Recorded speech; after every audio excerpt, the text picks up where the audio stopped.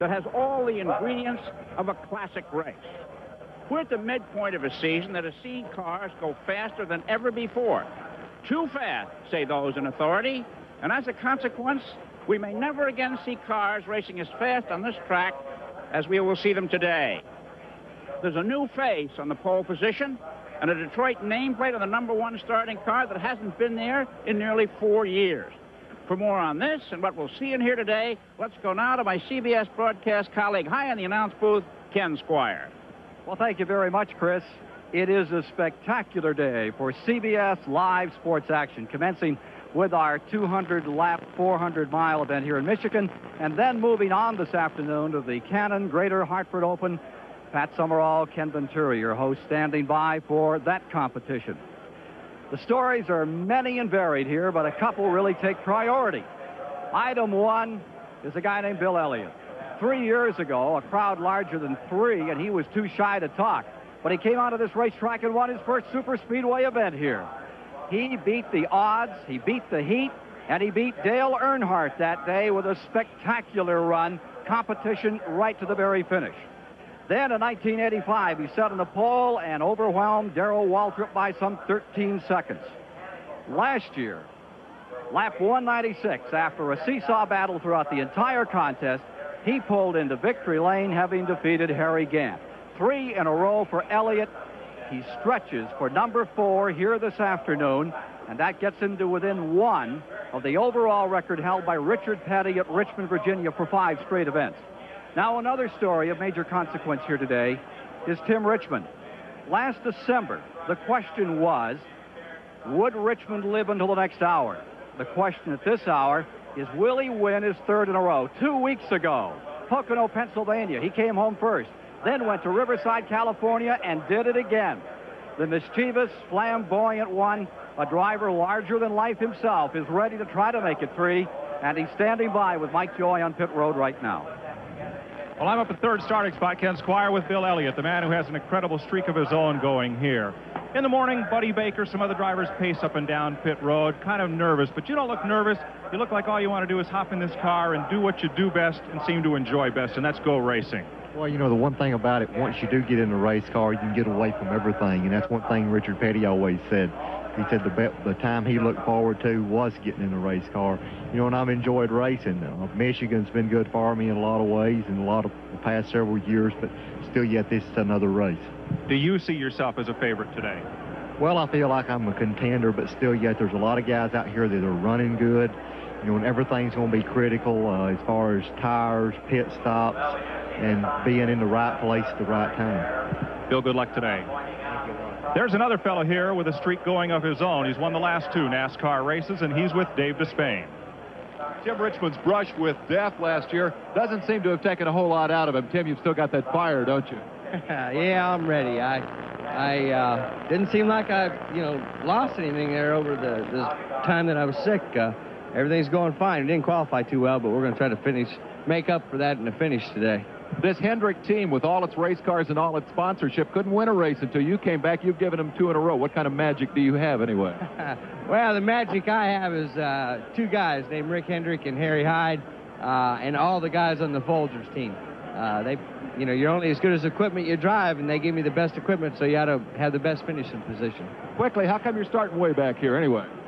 Well, I damn near crashed her in qualifying up here like that. I had them under. They thought I was hitting the fence, and I just missed it, and still ended up this far up, but luckily didn't dent anything, so that's one of the reasons. Tim Richmond looking for his third straight win will come from 18th starting spot. Ken? Among the other stories here today is Davey Allison, a rookie who has won two in his freshman season. They say that hasn't been done before, but actually back in 1959, there was a guy who loved this sport as much as life itself, won two and went on to win 48 more. Our colleague, two-time Grand National champion, Ned Jarrett. Ken, I don't think they put as much emphasis on records back then as they do today. But definitely, Davey Allison has led a youth charge in this sport. The age of the early 30s is relatively young for athletes in this phase of auto racing. In fact, in this field today, 20 of the 41 drivers are 32 or less.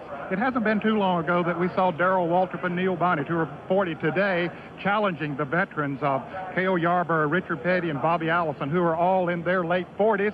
Now, we're not going to say that those veterans are ready to roll over and play dead by any means because they have been a factor in almost every race and will be again here today.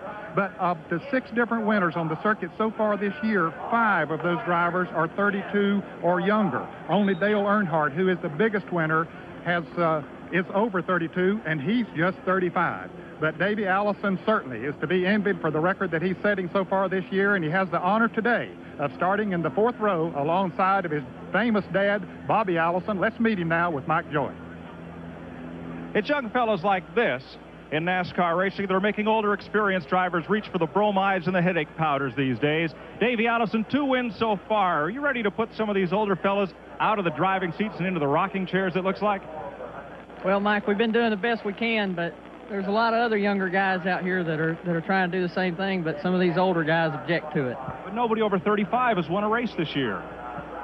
I think it's just a matter of time before either my dad or, or one of the other guys pulls one off, though. Uh, they've been running really good and they've had a lot of bad luck, but we're going to try to prevent it if we can. Well, one sign of the times is the fellow across the fourth row, Davey's dad, Bobby Allison. They used to say, hey, there goes NASCAR's third all-time winner.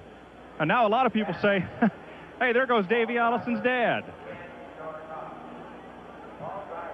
Stand by for the action, the excitement of NASCAR stock car racing, CBS style, live from Michigan in a moment.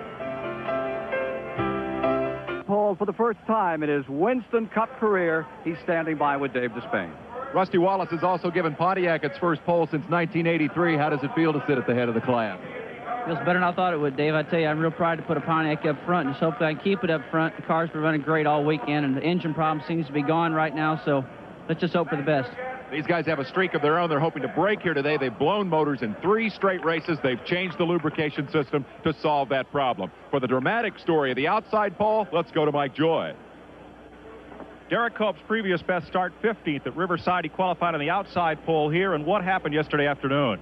Well, we went out to the last practice session, and we uh, were really pleased with the race car. It was running awful fast. I ran with uh, Tim Richmond and Davey Allison and stayed right there. So we were really, you know, really completely done with the car. And I shut it off clean on the back chute, and it made a, a popping noise, but I thought it was a header leak. And we come in and uh, took all the, you know, the checking the, the stuff this morning and started trying to fire the car again. It would not start and evidently the motor started to run backwards and uh, either broke the camshaft or broke uh, timing chain or something, and we just had no time to change the motor, so we were going to have to scratch the...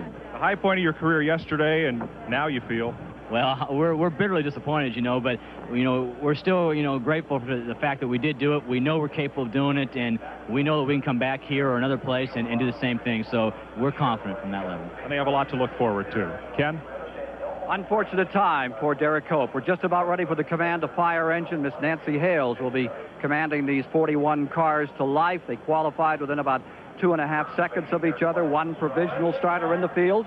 Let's go down for that command. The time has come. We've been waiting for those four famous words. And here to give that command is Nancy Hales, marketing coordinator for 7-Eleven food stores from Saginaw, Michigan. Nancy?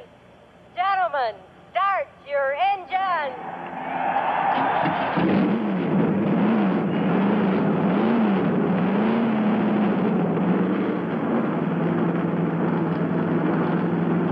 Neil Bonnett's in-car camera, one of three. Kyle Petty's in-car camera, the second. And the king, Richard Petty, has our third onboard camera for the Michigan 400 live today here on CBS Sports. Every year, Michigan has given us one of our most competitive events. We expect the same this afternoon. I'll be back with a starting grid in just a moment annual Michigan 400. On the pole for the first time in his career, the Pontiac of Missouri's Rusty Wallace. And for the first time ever in the front row from Spokane, Washington, the Ford of Derek Cope. In row two, it's the 84, 85, and 86 Michigan 400 winner Bill Elliott and Fenton, Missouri's Ken Schrader. Row three, two-time Winston Cup champion Dale Earnhardt and the 84 Winston Cup champ, Texas Terry Labonte. Row four, the rookie Davey Allison, and outside his father, Bobby Allison. Row five, it's car five, Geoff Bodine, and the 79 winner, Buddy Baker. Row six from Bartow, Florida, Rick Wilson, and Bobby Hillin Jr. of Midland, Texas. In row seven, a 70-time winner, Darrell Waltrip, still looking for his first win in this event. And beside him is Phil Parsons. Row eight, Owensboro, Kentucky's Mike Waltrip. And starting 16th, the Pontiac of the 1974 winner, Richard Petty. Row 9, Ricky Rudd in the Bud Moore Ford, and Tim Richmond on the comeback trail, going for three in a row. Row 10, it's Harry Gant from North Carolina and Alan Kulwicki of Wisconsin. Row 11, the 1980 winner, Benny Parsons and Morgan Shepherd. In row 12, it's Greg Sacks and Kyle Petty, the winner of the Charlotte 600 earlier this year. Row 13, six-time Michigan 400 champion Cale Yarborough and Brett Bodine. Row 14, from Tennessee, Connie Saylor and Wisconsin's Jim Sauter. Row 15, Jackson, Mississippi's Lake Speed and Wausau, Wisconsin's Dave Marcis. Row 16, H.B. Bailey of Houston, Texas and Michigan's Don Paul. For row 17, also out of Alabama, comes Neil Bonnett. And flanking him is Buddy Arrington of Martinsville, Virginia. Row 18, Kenny Bouchard from Fitchburg, Massachusetts, and Eddie Bierschwale of San Antonio, Texas. Row 19, Dale Jarrett of Hickory, North Carolina, and Michigan's Butch Miller. Row 20, Rodney Combs from Lost Creek, West Virginia, and Dave Simcoe from Michigan. And rounding out the field, provisional starter Sterling Marlin of Columbia, Tennessee. A tremendous wave from the crowd as Harold Kinder indicates one lap, and they will be racing live on CBS this afternoon. Ken Schrader has now pulled up into the front row, assuming the position that Derek Cope had qualified for. Onboard cameras in three cars today, and the King is back. Richard Petty, car number 43, has been out for two races after he crashed at Dover, Delaware, and broke a couple of ribs. Richard Petty, Ken Squier at CBS Control. Do you read us? Yes, sir, Ken. We're right here. How do you feel? Well, right now I feel real good. I tell, talk to me a little bit after we run some. okay. Any soreness at all? No, well, yeah, I'm still sore, but I feel like this flat track, we don't get that G-force, should be okay. Richard, uh, your doctor down there, I understand, told you that you're getting older. You don't do things as well as you used to. You only broke two this time. That, that's what he said. He said most time I break four or five, so I'm doing better. Okay. Good luck to you this afternoon, sir. And he doesn't heal quite as quick as he used to either, uh, Ken, because he'll be 50 years old next week. July the 2nd. Let's take a look at the course itself. It's two miles, tri-oval. It is a beautiful D-shaped track, very similar to Daytona in layout, except a half mile shy. 18 degree turns instead of 31 degrees in and two, three and four, and 12 degrees down the front straightaway, and just enough to kind of run the water off the back straightaway, five degrees there. And yesterday, Sterling Marlin, the reason he is 41st is he crashed warming up to start the uh, qualifying run here in turn three. The wind was terrible, and the wind isn't much fun today. The parachute is bringing the American flag in, missed the entire track, landed off the second corner. Pace car is about to come in, ladies and gentlemen. The Michigan 400 on CBS, ready for a start. Harold Kinder holds him down. Green is out. We're racing. On the break, Rusty Wallace jumps out in front from his first pole position. I asked his crew chief, one of the crew members, Ken Hammond, about getting that pole. I said, you remember the last time you were on the pole? He said, I think it was back when they ran steam engines.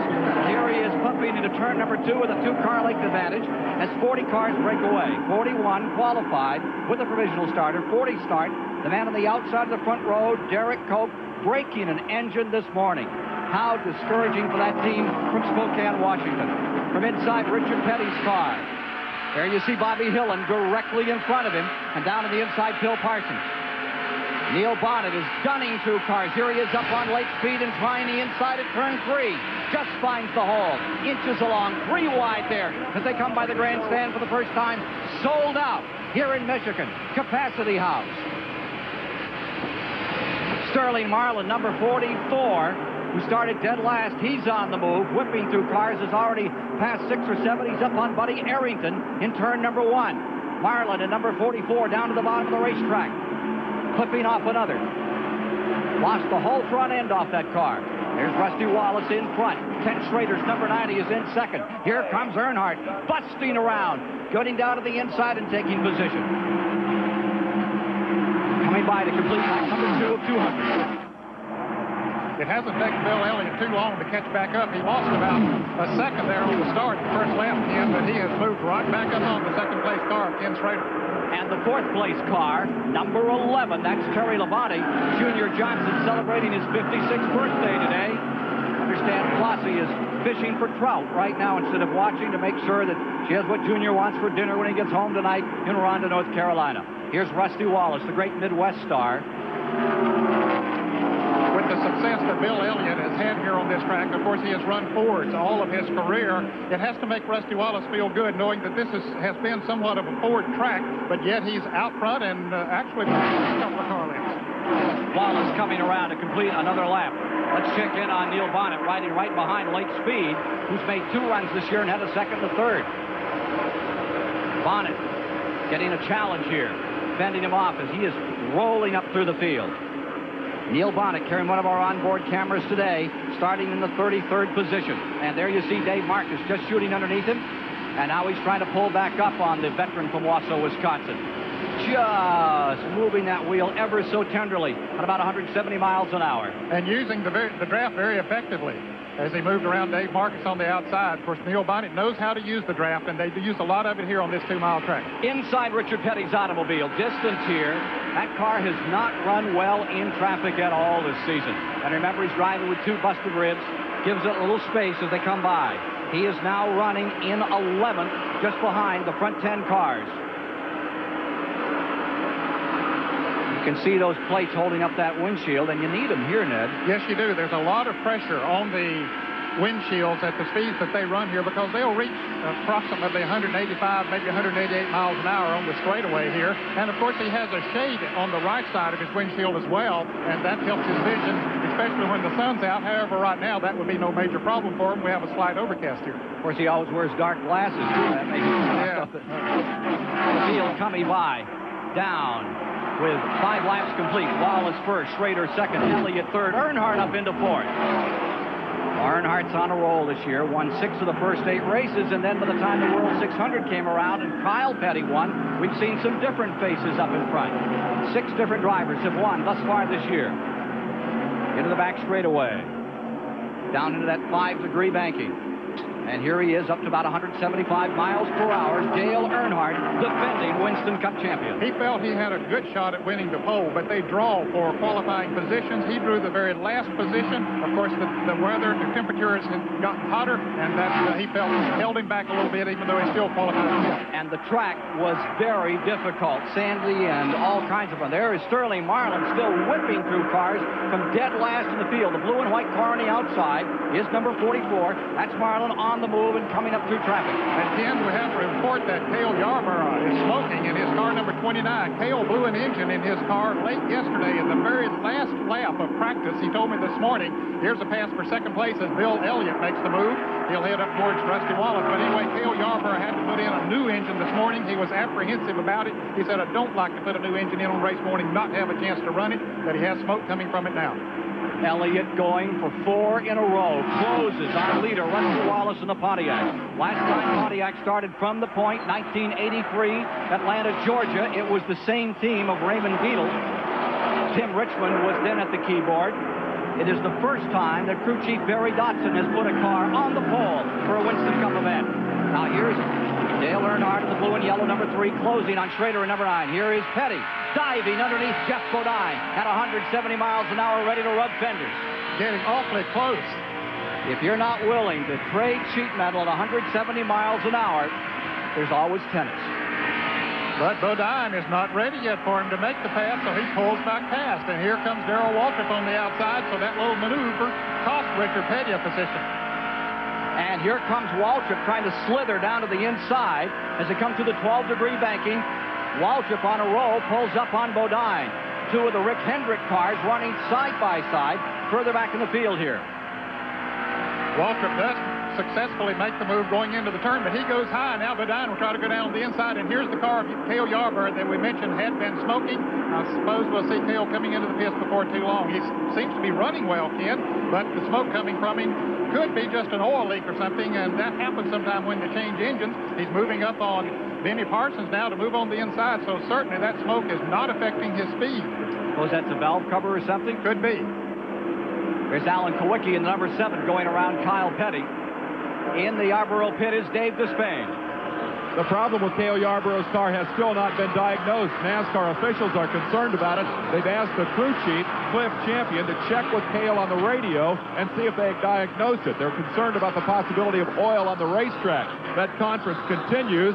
Cliff Champion called Cale on the radio. Cale said, well, it must be a tire. I don't see any smoke in the car. I don't smell any smoke inside. Cliff, any idea what the problem is? Well, we really got a tire rubbing just a little bit. I think he bumped somebody back there getting in the starter, and he got a little close back there. He must have bumped the fender on the tire a little bit. It's not bad. Will you try to keep him out there then? We're going to try and keep him out unless Cale feels that it's rubbing bad enough. He's going to come in. You know, we don't want to keep him out there if it's unsafe. Definitely not oil, though. You think it's tire for sure? I don't believe it is. You know, it's hard to say. We we messed the motor up yesterday and had to change the motor first thing this morning. They might have got a little bit too much oil in there or something like that. It's only leaking in the corner, so it could be squirting a little bit of oil out the freezer. So the speculation here is tired. They're going to leave Cale out and see if the problem worsens. Ken? As he dives into the corner, you can see that smoke begin to billow out from beneath the car. There you see that scramble up in front and now further back. There is Cale Yarborough's car, and leading that group is Benny Parsons in the 35. Those cars not up in the front 12, 13 positions. Morgan Shepherd in the green and white car, Kyle Petty coming after him, and here comes the battle for the lead. Wallace, the white and green car, being challenged by Bill Elliott for first place as they work lap number 12. Tim Richmond now up into the 11th position. Geoff Bodine in 12th, Richard Petty 13th, Bobby Hill in 14th, Mike Waltrip, who qualified well, in 15th. The leaders separating from the field. Big interval between the number two car and the number three car. Call that a second and a quarter. Here's your third place car, Schrader, in the Junie Donlavey car. Of spring sponsors you see in racing. That number 90 is one of the more unique pizza outfits. Up in first place, number 27, Rusty Wallace. Comes by taking another lap. And of course, they get a bonus of five points for leading the most laps. Wallace very much in contention in the Winston Cup standings, trying to stay there. Now here comes number nine driving to the inside as we look further back in the field. The scramble is on. The number 33 car of Harry Gant trying to go under Morgan Shepherd. Gant in number 33 trying to move up and for the moment stalemated. Now that's 55. And Gant right behind the car 55. They're both uh, sponsored by the same company. Morgan Shepherd has had his share of problems in the last several weeks. For the moment, drawing away, running in the 21st position. Back with the leader. Wallace in this beautifully prepared number 27 Pontiac. 29 is in the pits. Cale coming in. So apparently there's more to that oil or the smoke than we first anticipated as Cale brains his car number 29 into the pits. It'll be a costly pit stop for him here in the green. Here's Dave Despain. As Cale Yarborough comes on pit road, they immediately go under the hood trying to diagnose the problem. They'll give him routine service while he's in, but the real key here is to figure out where that smoke is coming from. We can see the smoke coming from underneath the car. They are not doing any work on the tires, so that is apparently uh, some lubrication difficulty. They have checked the car over. They're buttoning it back up, and they look like they want to get him back out just as quickly as possible. Cale is going back out. There was no apparent on the car. They simply look for the problem, and we'll get Cliff Champion here in a moment and see if we can find out what they might have discovered here. Now the conference back underway with the NASCAR officials. Dave As they try Despain. to determine what to do next. David, uh, a report uh, from one of the drivers out there, I think Harry Gant called back to his pits and said he thought it was the rear end that was uh, burning up on that car. Apparently he was running behind Cale and got some of the grease that was coming from and causing that smoke. And Ken, we've had a lead change. Indeed, Bill Elliott seeking that fourth straight win in this tremendous event of $495,000 worth is leading and pulling away by some 15 car lengths over Wallace in second, Schrader in third, Earnhardt fourth, Bobby Allison fifth, Terry Labonte is in sixth. And then comes Rick Wilson. Now Wilson is moving around Terry Labonte. Wilson up a spot in the sixth, and here comes Tim Richmond in the seventh. Back straight away, fight for third here. Ken Schrader goes up against Dale Earnhardt. We'll return with more live action coverage of the Michigan 400 after this message and a word from your local station. for running. It was Elliott in front. Rusty Wallace then in second. Ken Schrader was in third. Dale Earnhardt in fourth. Bobby Allison was in fifth. He is just pitted with a tire situation, apparently. And Rick Wilson in sixth. Tim Richmond in seventh. Baker eighth. Labonte ninth. And Waltrip tenth. And Bobby Allison had more than a tire problem. They changed all four tires on his car, but it will not crank. He's, they're pushing him down pit road. He has already gone two laps down to the leader. A very tough wreck here for Bobby Allison, and Dave Despain has the story. It was a painfully long pit stop for Bobby Allison. They had a tire problem. They came in. They weren't sure where the problem was. Changed all four in good time. Difficult to do under green. They were in bad shape at that point, but they became much worse off when the car died in the pits, and it took a long push down pit road to get it back underway. A double-edged problem here for Bobby Allison. Ken? Two-time winner of this event. 82 times a winner in Winston Cup races. His 44th performance here at Michigan. Driven just about everything here from Indianapolis cars on. International Race of Champions and stock cars out of it today. Here are the leaders, and Wallace has closed down on the leader, Bill Elliott. Rusty Wallace in the white and green number 27 Pontiac moves in on the Ford of Bill Elliott. Third is Earnhardt. Fourth is Schrader. Up to fifth moves Tim Richmond. He is on a roll here this afternoon, Ned, having started 18th. He said that he messed up a little bit qualifying, got the car a little bit loose, as the car was capable of running faster than he qualified it, so he's showing right now that it very definitely was as he moves up through the field. Running in sixth is Wilson, seventh is Waltrip, eighth is Baker, ninth is Petty, tenth is Labonte, eleventh Davey Allison, twelfth Benny Parsons, thirteenth Bodine, fourteenth Rudd, and fifteenth Bobby Hillin. There's the speed off turn four. As you notice, they run down from the wall. They never get as flush to it as they do at Daytona or Talladega. That can bother you a little. If you have a tire start to deflate, it will hook you into the wall. Back to Dave Despain. The the problem that brought Bobby Allison, or caused Bobby Allison's engine to die on that last pit stop has reoccurred. Now there is a fire under the hood. One of the crewmen has burned his hand. It's obviously the carburetor. The difficulty caused the engine to die during the previous pit stop. They got it started. He went back out. Obviously, the car was still not running right. They brought him back on pit road. As they went under the hood, they took the air cleaner apart, took it off. Fire erupted. One crewman may have burned his hand. Then once they cleared the air cleaner, he was able to get back out onto the racetrack. Dan, what do you think about that? Well, he went out without the cleaner, according to our observation here, and they're not supposed to race without an air cleaner on the car. However, maybe they don't have one in the fifth, and they'll run to the garage and get one and come back and put it on later.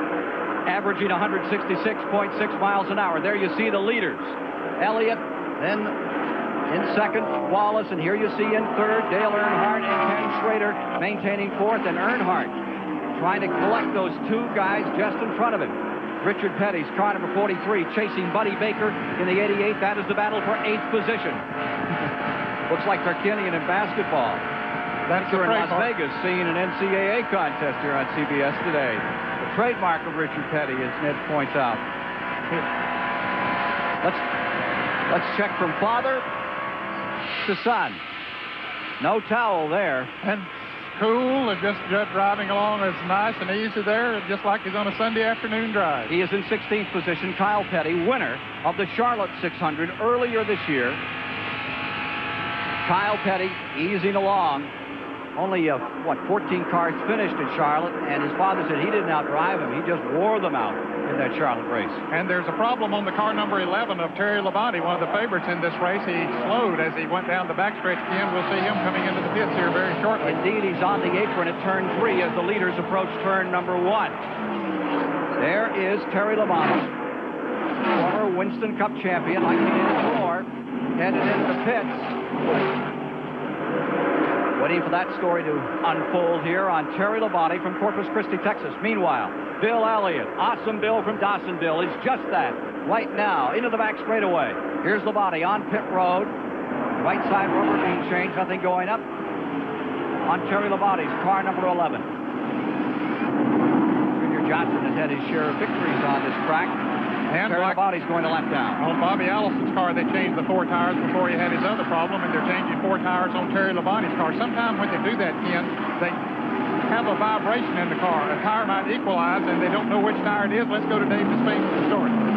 As the body leaves the pits, we see a little bit of smoke from the automobile. Junior, Junior Johnson.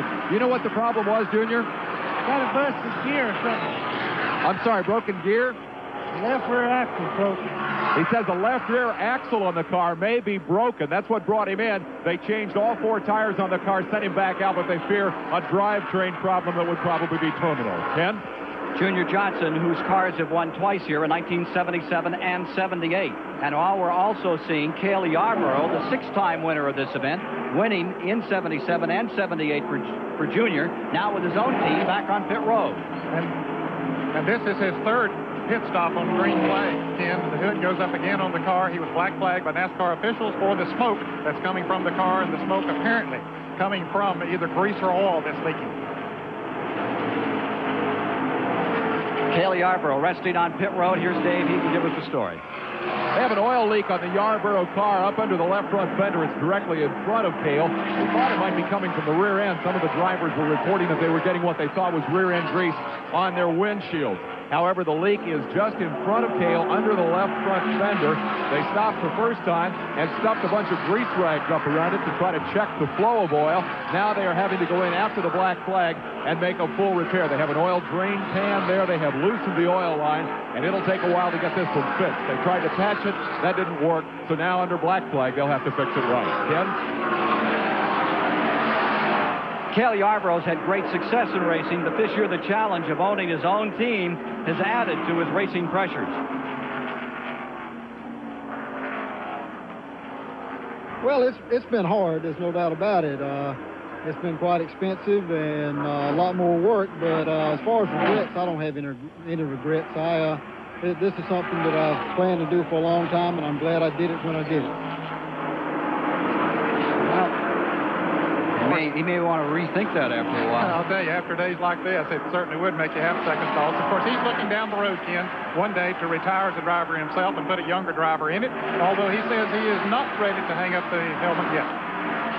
Going back to the leaders in traffic, here you see Elliott in the number nine, making a move on car number 64, skirting around that car that started back in 39th, Rodney Combs of Lost Creek, West Virginia. And Rusty Wallace stays right there, hanging on in second. Wallace, the Fenton, Missouri driver, having a tremendous run. More from Michigan shortly.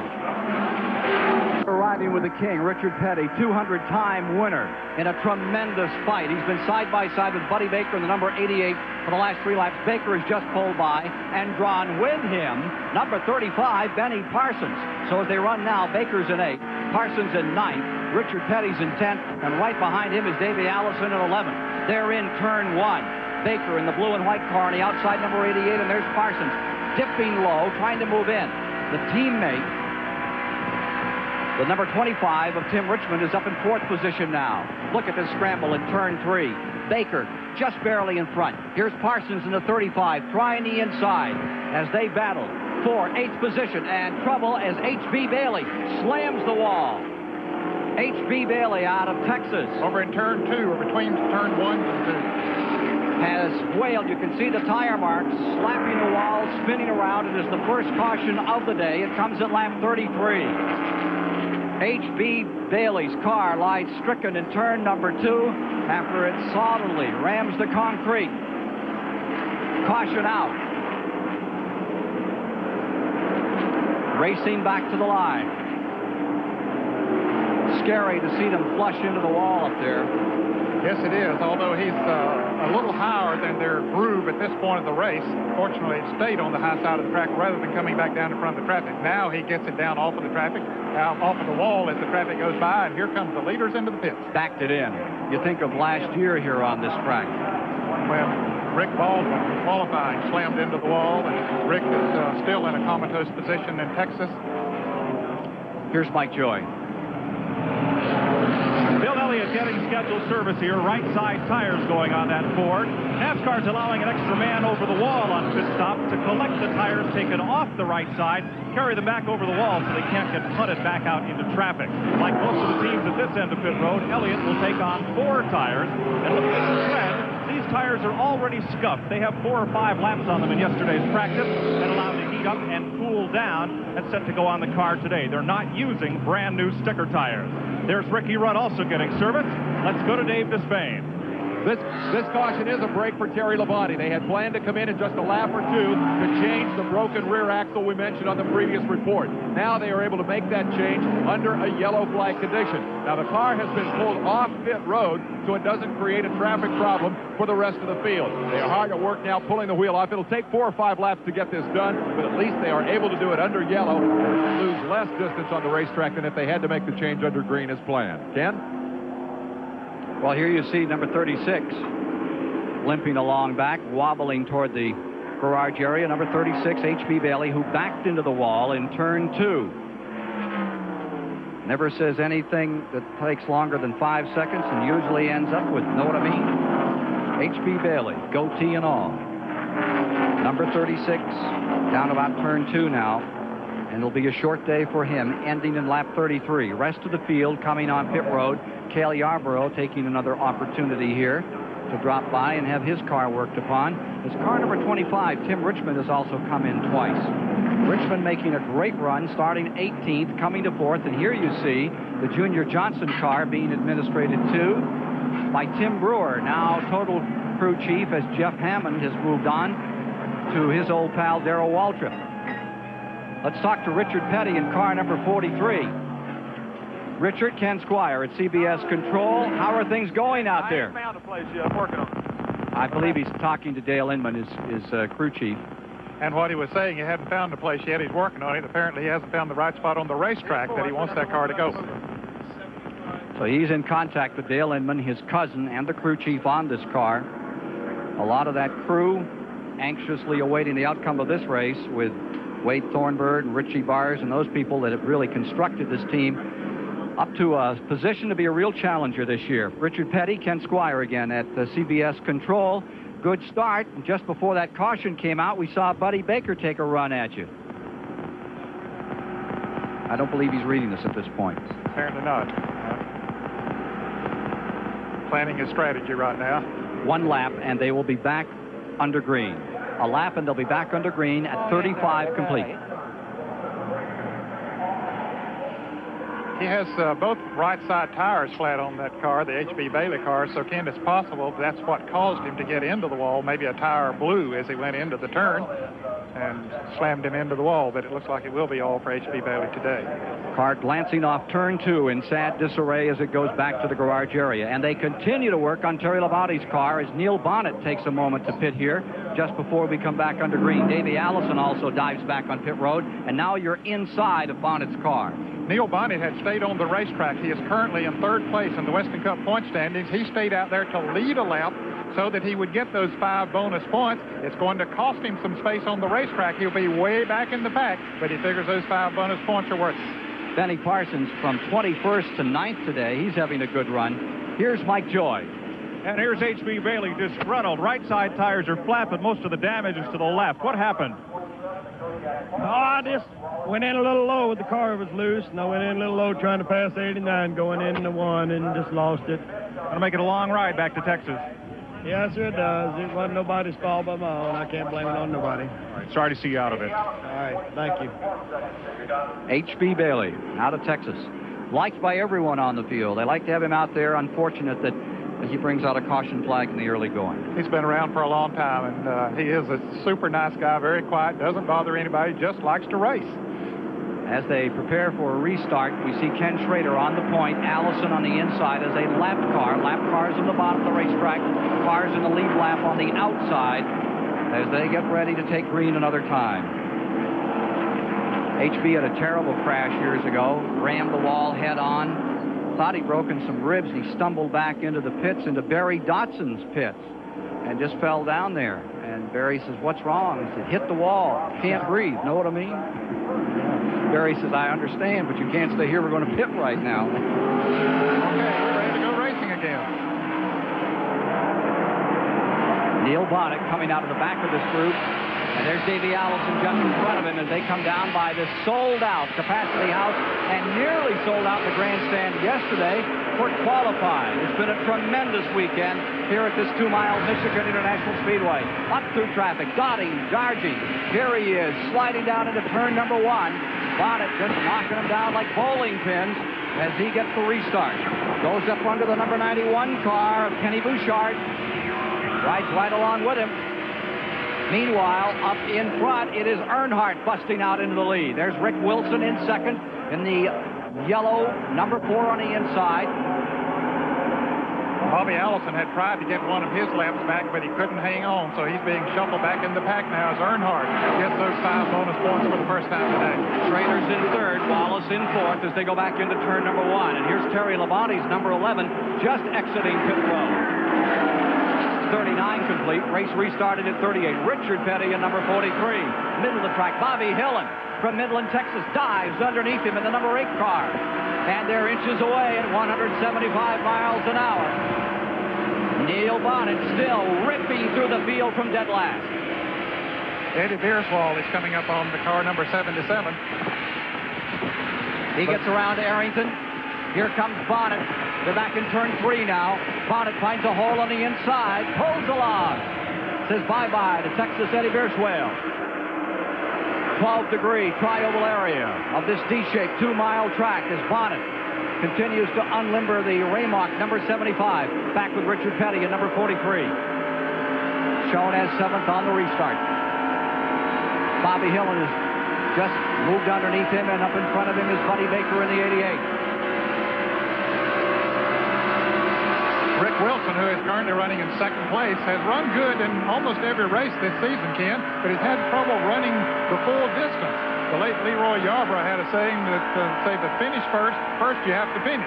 So Wilson has been running the, the finish only three times this year, but it's looking good for a good run here today. Think back to the first race here with Cale and LeeRoy right to the finish, the last lap. Remember, LeeRoy went in the wall down here in turn number one.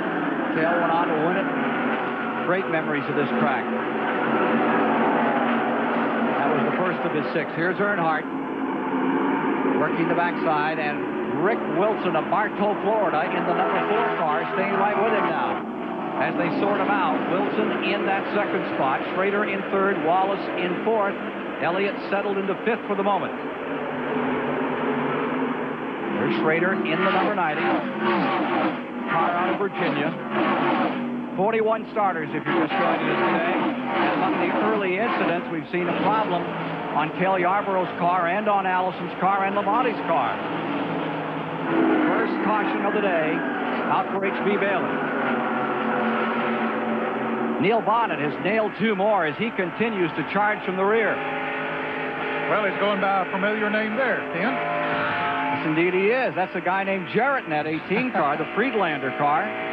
Your son uh, made the field, and there was about a dozen that didn't just to get into this race was something of an expedition. There is so much competition on this circuit today and so many cars trying to get in every field. It is an accomplishment just to get into the field, even though he started 37th. But I've been watching him out of the corner of one eye every once in a while, and he's doing a good job out there, Ken. How do you think of these rookie kids wearing mustaches? Well, uh, now we weren't allowed to do that back when I was racing by our parents. By your parents. Just have no control, do you? No. Here's Cale Yarborough. Consultation flag is out again on that car, and here's Dave. The frustrations continue for Cale Yarborough. This looks like a videotape replay of the previous stop. They came in, this time they took off some of the oil rags that they had put around the oil leak to try to stop it. Apparently the oil rags themselves have become soaked. They were uh, contributing to the smoke flow from the automobile. Let's see if we can get Cliff Champion and perhaps determine whether or not they've actually solved the problem here. Cliff is still in conference with the NASCAR officials. Cliff, you know if you've got it fixed now? Do you know if you have it fixed now? Yes, it's, the engine's blowing a little oil out the breathers right now. But you think you got it up? Do you think you have it under control so you can keep it from being black flagged? Well, I don't know. We took some of the oil out of it, and this last time we took some of the breathers out of it. We, we had a restrictor in the breather. We took that out, maybe trying some of the blow-by. You start worrying about the motor living now with all the changes in the oiling system? No, it, the oil system's doing fine. Is for some reason it's just blowing a little extra oil out right now. So they continue to have an oiling problem here. They hope they've got it solved and can keep Cale out on the racetrack. He's had to stop twice for black flags. Dale Earnhardt trying to put Chevrolet in victory lane for the fourth time in this Michigan 400. He's leading right now. More in a moment. Speedway with Ned Jarrett. I'm Ken Squier as we look at the Budweiser leaderboard to the moment. Dale Earnhardt has the advantage by two and one-tenth seconds over Florida's Rick Wilson. Followed by Missouri's Ken Schrader third, Georgia's Bill Elliott fourth, and Rusty Wallace is in fifth. Taking a look at the second five, Buddy Baker, having an outstanding run in the early going, is sixth. Bobby Hillin is seventh, Richard Petty eighth, Darrell Waltrip ninth, and Ricky Rudd is in the tenth position.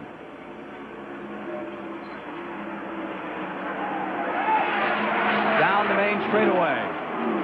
We got a real struggle beginning to develop for second place as we see Earnhardt in front, and here's that battle for second. Bill Elliott on the bottom of the racetrack. He's back up to that runner-up spot. Trying to close in on Earnhardt now as Rick Wilson falls to third. This is happening at lap 48.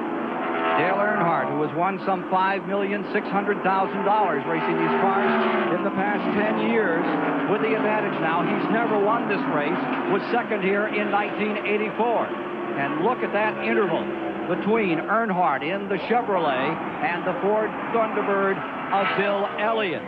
Dale Earnhardt has won six of the first eight races this year, but recently a victory doubt has caught up with that team.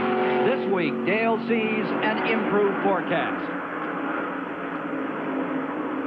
You know, you can be on top of the world, and uh, like we were at the first part of the season, nothing went wrong. Uh, the last part here, the last several races, a little flat tire here, a little uh, engine problem there. Just little things that happened and kept us out of the winning circle, but uh, we still finished well. So uh, if we can just hold on here and get back in the groove and win some races, uh, I think the luck will turn back around for us. Outside of his second place spot, it's been sixes and fifths in this race. Still looking for the first one to fall his way. Currently leading in the Winston Cup standings as they move to the Firecracker 400 in Daytona Beach. And if he leads the points there and is expected to, he'll get a $150,000 bonus. Well, I never won that much in a season. In fact, barely won half that much in a season. Don't you wish you could back it up, Ned? It would be nice. Born 30 years too soon, I guess. Bill Elliott in second. Glenn doesn't think so, and neither does Dale. And running in third is Rick Wilson. Fourth is Schrader. Fifth is Rusty Wallace. Ned Jarrett alongside, whose two sons are part of this great sport. Let's go to Dave Despain with Cale Yarborough.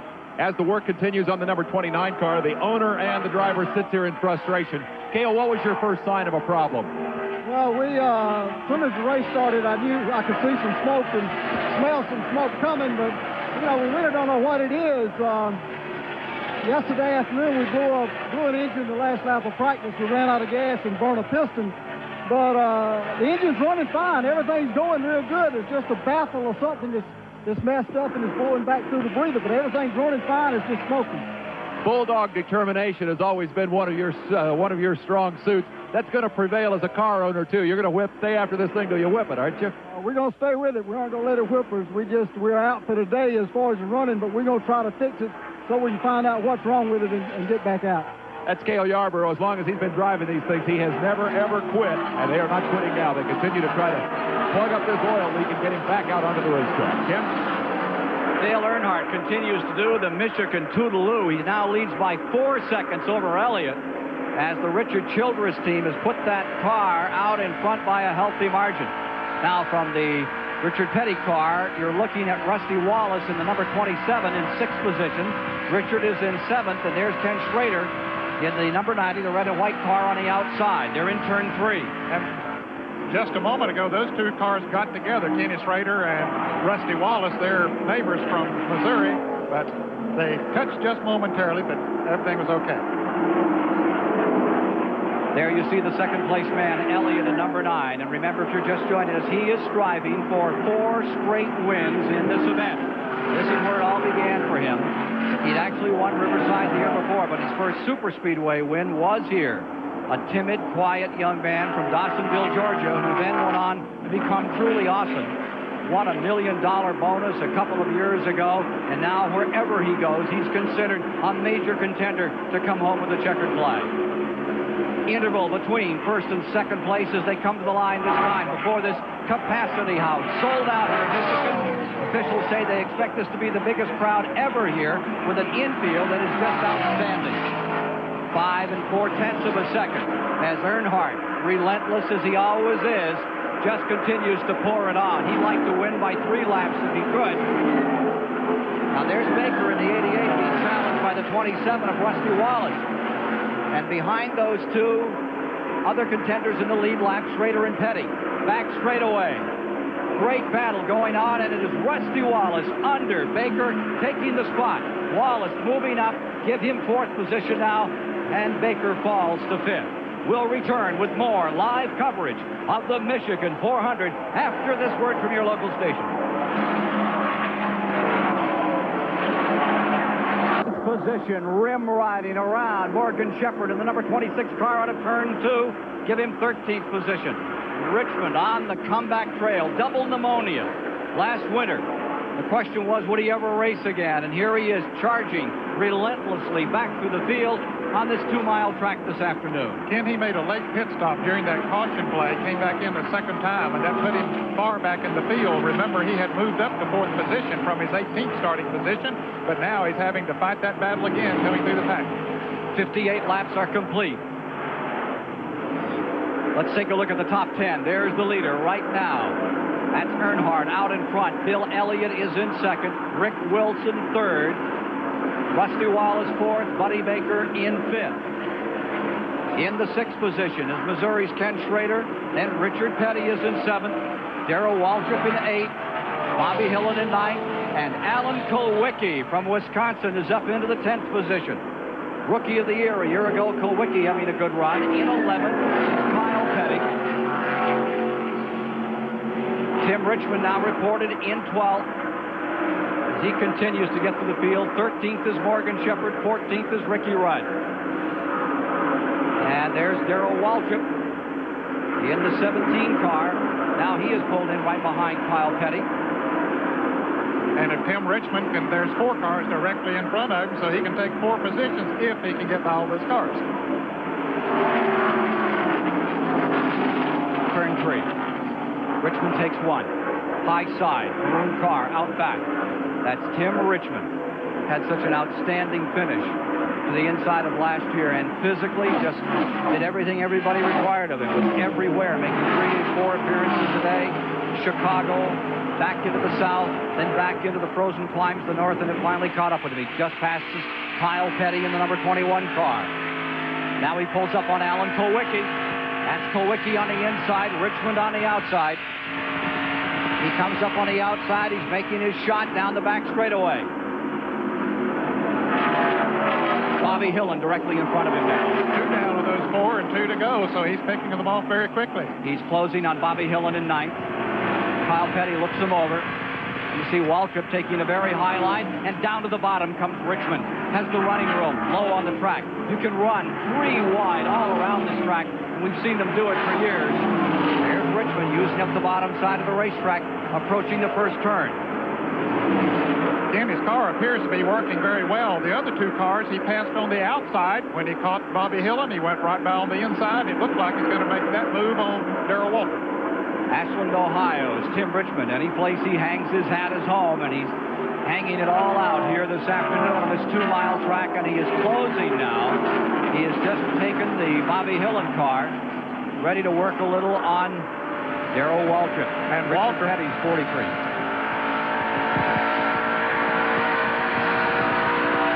And he overwhelms Waltrip. Here he comes for Petty. Waltrip went very high into turn three. Now he does set his sights on Richard Petty and another group of cars up in front of him. Richard Petty is in seventh. You're riding with Richard Petty looking out his back window and seeing Tim Richmond grow ever larger as Petty sees him in the rearview mirror the same way. Back straightaway. Listen to that motor sing, surges down that backstretch, using all the gear they have for this two-mile track. And Richmond closes in.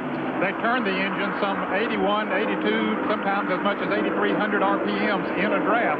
So that's why it sings so much, producing well over 600 horsepower. 358 cubic inch engines, 3,200 pound cars, and here he comes. Richmond closing, ever closer. Notice all the paper. There's always a tremendous amount of paper that comes out of the grandstand, and if it catches on the front of your car, that can be disastrous. It certainly can because it'll overheat the engine, and it doesn't take much to get it to the point. If you get it much over 200 degrees, well, then it's going to spell trouble later on. Michael Waltrip, with a new sponsor on his car this time, is coming into the pits. It looked like a lot of smoke coming from the engine as he came off of turn four, so Mike Waltrip having his problems here today. For the moment, Petty steadies the distance between himself and Richmond. But you can see Richmond right here getting just a little bit of an advantage and getting in there just a little deeper. Dale Earnhardt staying up in front, seeking his 27th career Winston Cup victory this afternoon, defending champion, 1980 champion as well, stays out in front and has a good size lead over car number nine, Bill Elliott running in second place. More from Michigan in a moment. One quarter distance with the first 50 laps down. Dale Earnhardt first, Bill Elliott second, Rick Wilson then third at the quarter mile at the quarter mark, with Schrader running in fourth and Rusty Wallace in fifth. The attrition through the first 100 miles of competition here. H.B. Bailey retiring after he nailed the wall in turn two, and Derrike Cope never came out of the garage area this morning. Had a problem, broke a cam, and so the man that had qualified second for this race from Spokane, Washington, did not get a chance to start. Is a DNS. With more comments on the first quarter of the race, here's Chris Economaki.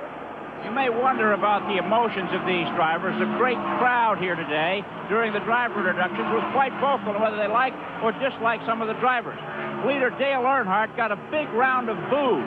At that, he turned to the person next to him and said, they do love me here, don't they? Darrell Waltrip, who got a pretty good round of booze, just muttered, it's a dark and lonely business. And Bill Elliott, not used to being booed, said, I got to get out of here. Back to you, Ken. well, it's a lot different than the last two years. Now, look at this. Uh, as you watch Richard Petty and Tim Richmond here, let's take a look at the race summary to the moment. We've had five leaders, five lead changes, and with that one caution, the speed down to 154.783 miles per hour in our Quaker State resume. And the third place car, Rusty Wallace, is coming into the pits, and this would be an unscheduled pit stop for him, Kim. Tire change on Wallace. Perhaps something equalized here. Now, can he change those tires and stay in the lead lap? It'll be close. This is a two-mile track. It takes him about 43, 44 seconds to go around. A good, quick pit stop for Rusty Wallace. 11. Earnhardt's coming off of turn four, coming to the start-finish line, and Rusty goes out, and Earnhardt will get around him. He has the momentum going into the first turn. There is Rusty Wallace, and here's Earnhardt on the outside about to pass him, put him a lap down. Indeed he does. 11 and 9 tenths of a second on pit road then. Good pit stop, but the slowdown time coming into the pits, and then, of course, getting his speed back up takes a lot more time. Richard Petty and Tim Richmond are just having a tremendous go for it here. Here is Richard Petty, and right behind him, right behind him is Tim Richmond, and they've been going at it for the last four laps. Now, Petty, let's take a look on tape here. Oh, as Kyle Petty gets a little loose out of turn two. Down to the bottom of turn two, Richmond made this move to go beneath Richard Petty and take seventh spot. Richard would have no part of it, although Richmond was successful here. Petty was able to come back around him and end up back in seventh, leaving Richmond in eighth. Boy, it looked like Richmond was gone for the moment. That's not the case. And here is Richard Petty closing in on his son, Kyle Petty. Six and seven. And here's a pass again. This is live now. Down to the bottom of the racetrack, and you can see Richard nod has all of a sudden Richmond out of turn two just used the slingshot in the corner and whipped beneath him. He got him in the right position that time, Ken. Built his momentum and drove right around him. Of course, he used the draft off of Kyle's car as well, which helped to pull him up there. Now he's going to work on Kyle. Kyle Petty is running in sixth. Tim Richmond is in seventh. Richard Petty is back there in eighth. Now you see Kyle on the bottom as he got a run out of turn number two. Have a problem with the in-car camera on Kyle Petty's machine for a moment. Kyle making a great run. That car sticking on the bottom of the racetrack. Yes, it is. Of course, the Wood brothers prepared that car. They've had a lot of wins here at this track with David Pearson when he used to drive for it. Now, As Kyle goes around Kenny Schrader, Tim Richmond decides to make that move too on the inside. Ken Schrader was in fifth. He falls to six, and here comes Richmond, putting him back another spot. Now Richard Petty going after Schrader as they lap Buddy Arrington going into turn three. All of this live from Michigan here on CBS this afternoon. The Cannon Greater Hartford Open follows next in our live events on CBS. Continuing to draw away. We have a lap time going. Let's see just how fast he is going here. They should be pitting maybe the next 10 to 12 laps. Well, in fact, right now, Benny Parsons, one of the top runners, is coming into the pits. Checking that time on Earnhardt, the leader, as he comes to the line to see what he's averaging through traffic. 42.8, only 168.2. I'll tell you, that's surprising, Ken, that he would be running that fast at this point in the race. Normally, they'll slow down over their qualifying speeds of about 170, they'll they'll slow down to maybe 167 or so. But Earnhardt setting a blistering pace here right now. 12 and 8 tenths of a second. Parsons was on pit road. He returns to the action as Connie Saylor pits and comes back out as well. Continuing to lead, Earnhardt. And look at Richard Petty now fighting with Schrader in the Ford. Richard Petty's Pontiac on the outside, the Ford number 90 down low. The 90 seems to be a, his chassis a little bit loose. The back end not holding as tight as he would like. It permits Richard Petty to move right around on the outside. So Petty goes to seventh. Schrader falls to eighth. Meanwhile, that car is just working perfectly, Ken. As we've seen it so many times this year, he looks like he did when he was winning that sixth out of the first races this year. Kyle Petty, as we have his camera now, looking back at his father, Richard. Kyle and Richard Petty. In it heavy here as they run up in front. Remember that Kyle has had a victory. And father looking at son here. Richard closes up on Kyle. And they will trade sheet metal if they have to. Running in fifth and sixth, four and a vote. Dale Earnhardt was just in for 15 and two tenths seconds. We saw one of the crew members reaching inside, making a chassis adjustment on his Ford. A little less than 16 seconds as he gets back out. Green flag pit stop coming up. As you mentioned, Dale Earnhardt was in a little while ago. Took on right side tires. Ricky Rudd is in. Lake Speed. Geoff Bodine is in. Rick Wilson, who was running up in the top five, or a little earlier, come in. He took on left side tires. And these changes have made this man the leader. Tim Richmond. Can he do it? Can he win three in a row? A year ago, not many would have given a nickel come December that he would even be back in a race car this year. Many said he'd be out the entire season. But right now, Tim Richmond is leading here in the Michigan 400. But he will have a pit stop coming up before too long. In fact, he's coming up on his teammate, Benny Parsons, and Benny has already made a pit stop. He's about to go a lap down, but Richmond will have to stop before too long. Harry Gant is in the pits at the moment. Harry hoping to have a good day. His last good run was here a year ago when he finished second. Number 91 overshot his pits. He got a little squirrely coming in. Got it locked up. Kenny Bouchard. It's one of the top modified drivers. And here is Tim Richmond now coming into the pits for his scheduled pit stop. Let's go to Dave Despain. Tim Richmond, who has had to come all the way from the back of the field on pit road. Green flag stop crew quickly going to work on the right side tire change. Cleaning the windshield, Richmond gets a cold drink, ready to charge back out into the action. A lot of problems can sideline a race car. Here's Richmond ready to roll. A long time on that gas can. It's taken a long time to fuel the car. There was a significant delay there. That will extend that pit stop time just a little bit. Let's quickly wrap up how Richmond got himself to the back of the pack earlier. We mentioned a lot of problems can stop a race car. In this case, it was an imagined problem. As Richmond left pit road, he hit a ripple in the pavement out there. He thought the axle on the car was broken, so he made a precautionary pit stop. It proved to be okay. As a result, he lost a lot of time. That dropped him all the way to the back of the pack. He had to charge all the way back to the lead. Now a long pit stop, and he's scrambling again. Ken? Everyone seems to be scrambling with the exception of a couple of people out here today, Earnhardt and Elliott. And they are just moving right along as expected. Kyle Petty, of course, uh, running an awfully good race here in the car 21, but Richard made a pit stop at the same time that Tim Richmond was making a pit stop, so he has made his stop.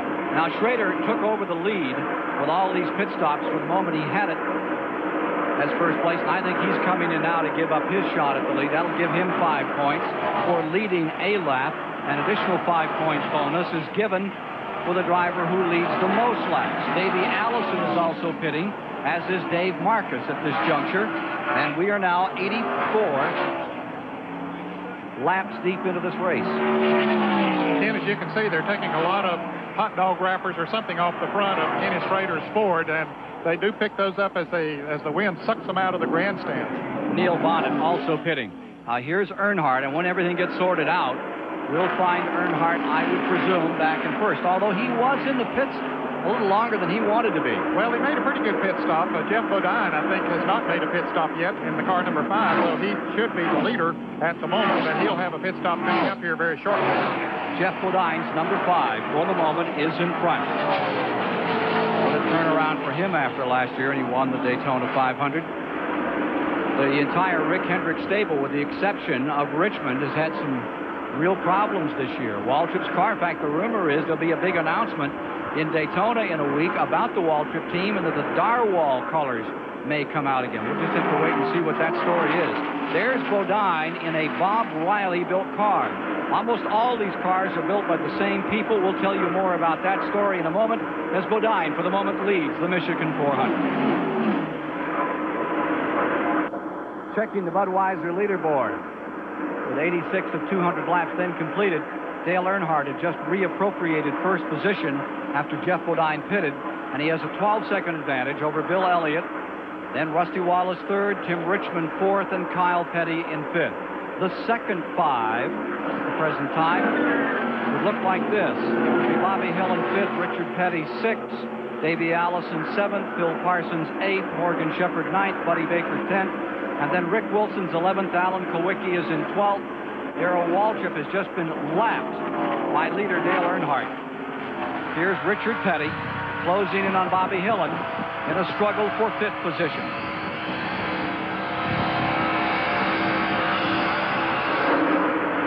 Richard Petty right up against the wall, trying the high side here on Bobby Hillin as they fight for fifth.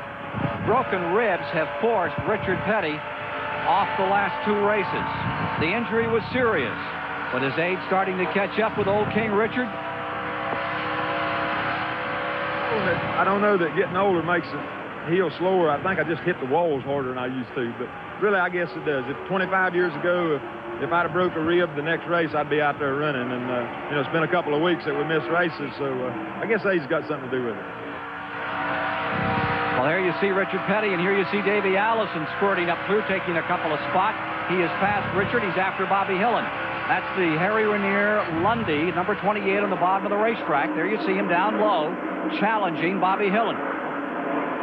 Battle for fifth now has Allison sticking the nose of the T-Bird in front. On the outside, the Buick. Bobby Hillin pulls back around him again. A couple of youngsters going at it. Bobby Hillin, what, 22, 23 now? 23 years old. And Bobby Allison's son, Davey, running for Rookie of the Year, 25 years of age, has run this track a lot with the ARCA Group, the Automobile Racing Club of America. Richard Petty scanning this action directly in front of him. Richard back in seventh position, giving us these pictures. And here's Morgan Shepherd taking a shot at Richard. Petty fends him off. Challenger is on the inside. Morgan Shepherd, the Kenny Bernstein-owned car, the world champion drag racer, owning that car number 26. And there's the number 55, Phil Parsons, getting back into the act. Phil has had some very good runs this year on the circuit as he moves on the inside of Morgan Shepherd. For eight. He's a young driver, grew up in Detroit, not too far from here, but moved south to really get involved in racing. Has a full-time ride now and has been doing very well. Average speed staying at 157.4 miles an hour. The record for this race was a 153 clip that goes back a few years. Here's Earnhardt in traffic. There you see the Bodine number five just in front of him, and the Greg Sacks number 50. That Bodine car, they're now building their own racing machines in the Gary Nelson Racing Stable, as is Earnhardt's people. Most of the cars are built by Banjo Matthews, Dick Hutcherson, or the Laughlin people. Mike Laughlin, yes. But this is a Riley car. This number five, one of two they have constructed from the ground up, and they're now building a third as they try to get a handle on having their, their own place. Certainly, it's one way that they can uh, maybe have a little development that others wouldn't know about when you get the chassis from the same place as most of them have been doing, the three that we mentioned over the years. The chassis are basically the same. Of course, they take them back and tailor them to their own needs and to suit the driver. But at the same time, if they build the thing from ground up in their shops, well, then they, if they have any secrets, they're able to keep them within house. Bodine going a lap down. Now the Childress car, I believe, it started out as a, as a banjo piece, but it has been so modified.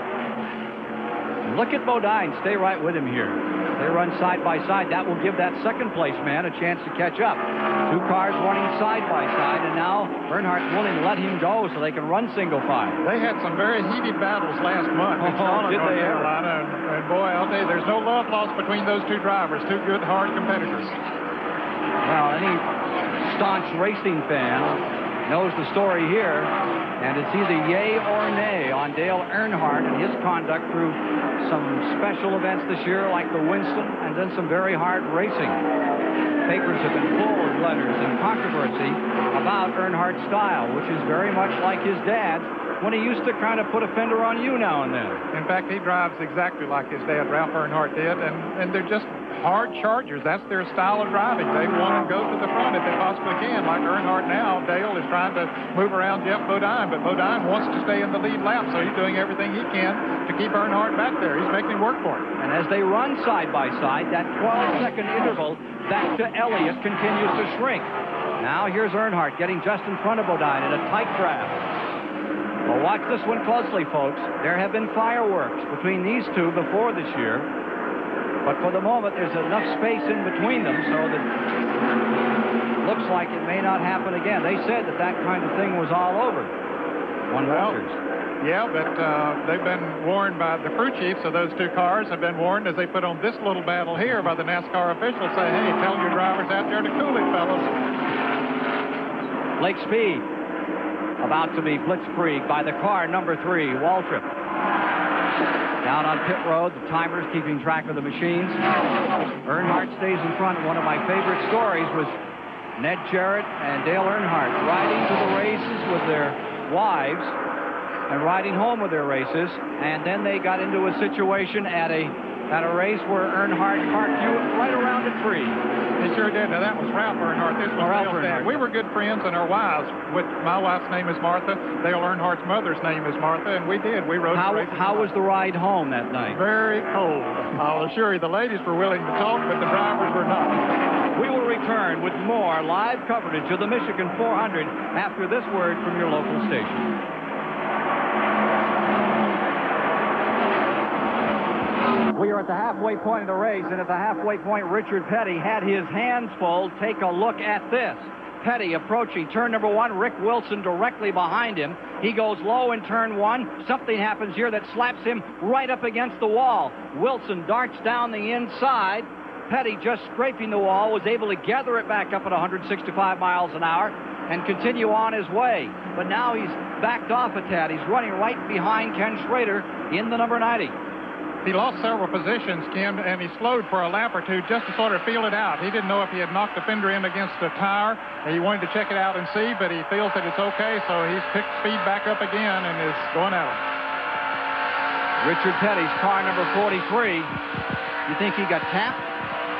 Could very well have. We couldn't tell by the, the replay there. We couldn't see the other car behind him, but all of a sudden he just went into the wall, and he did clip the wall a little bit. You could see the, the car uh, as it hit the wall, it jarred it a little bit, but uh, he could have got just a little tap going into the turn. Perhaps from outside they might have another look for us.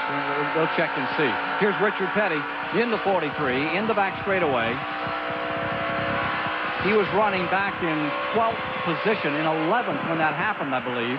And Rick Wilson just peeled up through traffic in a hurry. Wilson's having an excellent day. Your leaderboard looks like this. Earnhardt's first, Elliott second at halfway, Rusty Wallace third, Tim Richmond fourth, Davey Allison in the fifth, Kyle Petty is in sixth, Phil Parsons in seventh, Bobby Hillin in eighth, Rick Wilson in ninth, Morgan Shepherd in tenth, Buddy Baker is 11th, Schrader then was shown as 12th. Richard Petty 13th. And Ken, the fans might wonder why we're seeing Rusty Wallace up on the board there in third place now when he made an unscheduled pit stop for a change of tires and we saw him go a lap down. But the other leaders have made pit stops since then. Now he'll have to stop again earlier if there's no caution, so he's a little out of sync as far as his pit stops are concerned, but he is definitely in that position. Meanwhile, Ricky Rudd feels the hot breath of the number three Chevrolet. Ford T-Bird entered by Bud Moore. Going down a lap. And Ricky Rudd in 15th falls down. 14 cars in the lead lap. And Bill Elliott apparently has lost a cylinder or something. That Ford number nine has slowed. Bill Elliott looks like he's really off the pace for the moment. We can take a look at that Petty incident again from another camera and see if he was tapped. Here they are. Entering turn one. Rick Wilson on the inside in the car number four. As Petty moved up on the outside of Phil Parsons, and Wilson goes in. It looked like he did just clip him a bit with the right front corner of the Wilson car getting into Petty's left rear quarter, send him up into the wall very slightly. That's not reaction. That's pure instinct. Yes, Petty knew he'd been tapped. He knew he was on his way. He had just a fraction of a second to make the save, and he keeps right on Well, that is experience. 30 years of it. It pays off at times. Currently in second place, Bill Elliott, and the word is that he is falling back, and there may be a mechanical malfunction on the number nine car as it seeks its fourth straight win in this nearly half million dollar event. Tough break for Elliott, who has been trying to win, uh, as you say, the fourth time in a row. But at the pace that he's running out there now, Kim, he won't have much of a shot at winning. Mike Joy may be able to tell us more about that.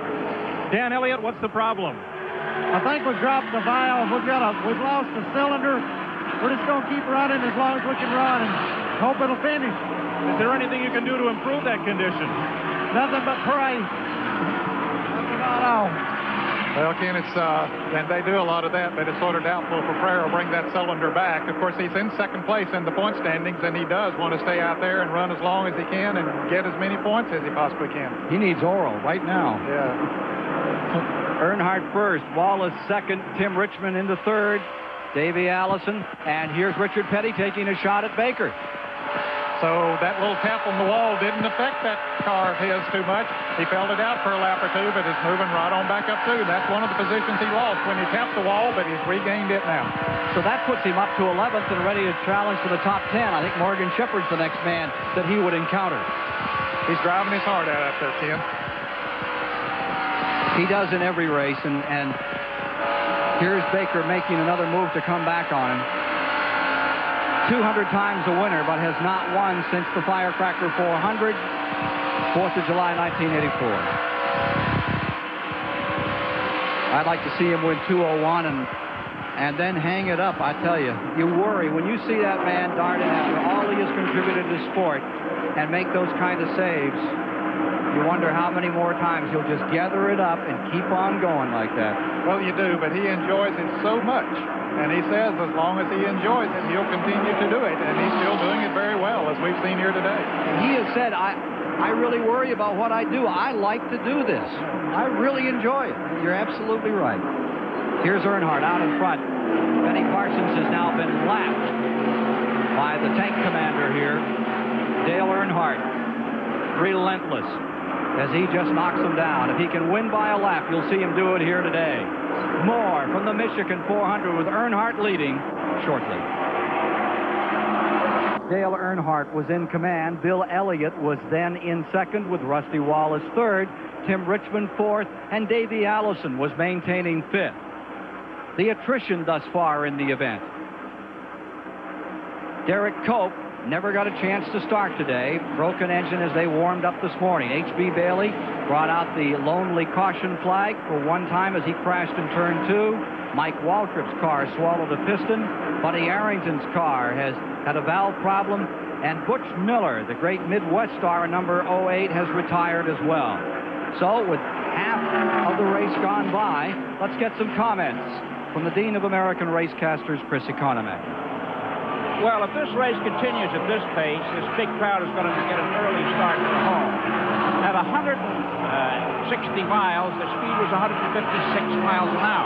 At 180 miles, it was 157 miles an hour. And now at the halfway mark, the speed has increased to 158.94 miles an hour. Very fast. There are 35 cars still on the track. Only one yellow flag is waved for a minor accident involving H.B. Bailey, but there have been 10 changes in the lead. Rusty Wallace, Bill Elliott, Neil Follett, Ken Schrader, Dale Earnhardt, Tim Richmond, and Geoff Bodine have all taken a turn leading this interesting competition today.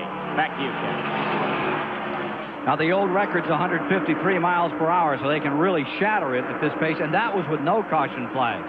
So this man is really getting it on. The 14th place man, Alan Kulwicki, has just gone a lap down to Earnhardt as he continues to pursue perfection in this yellow and blue Richard Childress prepared Chevy. Trying to put another man a lap down, and for the moment they're holding him up just a tad. Not much though. That's Schrader in the number 90, running in 13th. Earnhardt's car continues to just work beautifully. Whatever part of the racetrack he wants to drive it on, Ken, he's able to take it. If he needs to go inside or outside, wherever he needs to go, the car's working for him. Ned, let's let's bring us up today. That was the halfway mark at 113 of 200 laps complete, which is where we're at. Earnhardt is first, Rusty Wallace second, Tim Richmond now third, Kyle Petty fourth, Davey Allison fifth, Rick Wilson sixth. Phil Parsons in seventh, Bobby Hillin is eighth, Bill Elliott has dropped from second back to ninth, Richard Petty is in 10th. Morgan Shepherd is 11th. Buddy Baker 12th. Ken Schrader 13th. Alan Kulwicki 14th. Benny Parsons has just pitted, and as he does, Ricky Rudd moves into 15th. Up into 16th goes Lake Speed. To 17th, Bodine, and 18th, Waltrip. And you mentioned that Benny Parsons is in the pits. He is taking on left side tires. And Phil Parsons, who was up in, uh, what, seventh position, had made a pit stop not too long ago as well. 13 cars remain in the lead lap, but they won't stay there long with Earnhardt continuing to lawnmower the rest of the field. There's the first place car, and there's Baker in the 88 car in 12th. He's about to go a lap down. Once that Dale Earnhardt is about as hard bitted as any racer you could ever find. Once he gets the bit in his jaw, he's gone, and you can't hold him back. He is a hard charger, no question about it. Now there's the interval. Back to the second place car, and it's a 15 and 6 tenths of a second between first and second, between Earnhardt leading, Wallace in second, and then Richmond's back there in third. That's a little over a third of a lap. It takes uh, about 43 seconds to go around this track, and so almost 16 seconds, so that's uh, a pretty good lead. There have been six previous winners in Winston Cup racing as they finished 13 events this year. Moving toward the halfway point at Daytona in the Firecracker 400. Looking further back in the field, there you see the number one. That's the Brett Bodine car. And with him comes number 71, Dave Marcis. And they're back outside of the top 15 at the present. And the second place car is coming into the pits, but we said earlier that he would have to come in earlier than Earnhardt and the others because he came in earlier the time before. Now, Rusty Wallace getting right side tires on his car. He took on right side tires when he pitted before. Let's see if he can stay in the lead lap this time. That's 14 and one tenth second on that pit stop. He comes back on the track, and I think he's going to make it.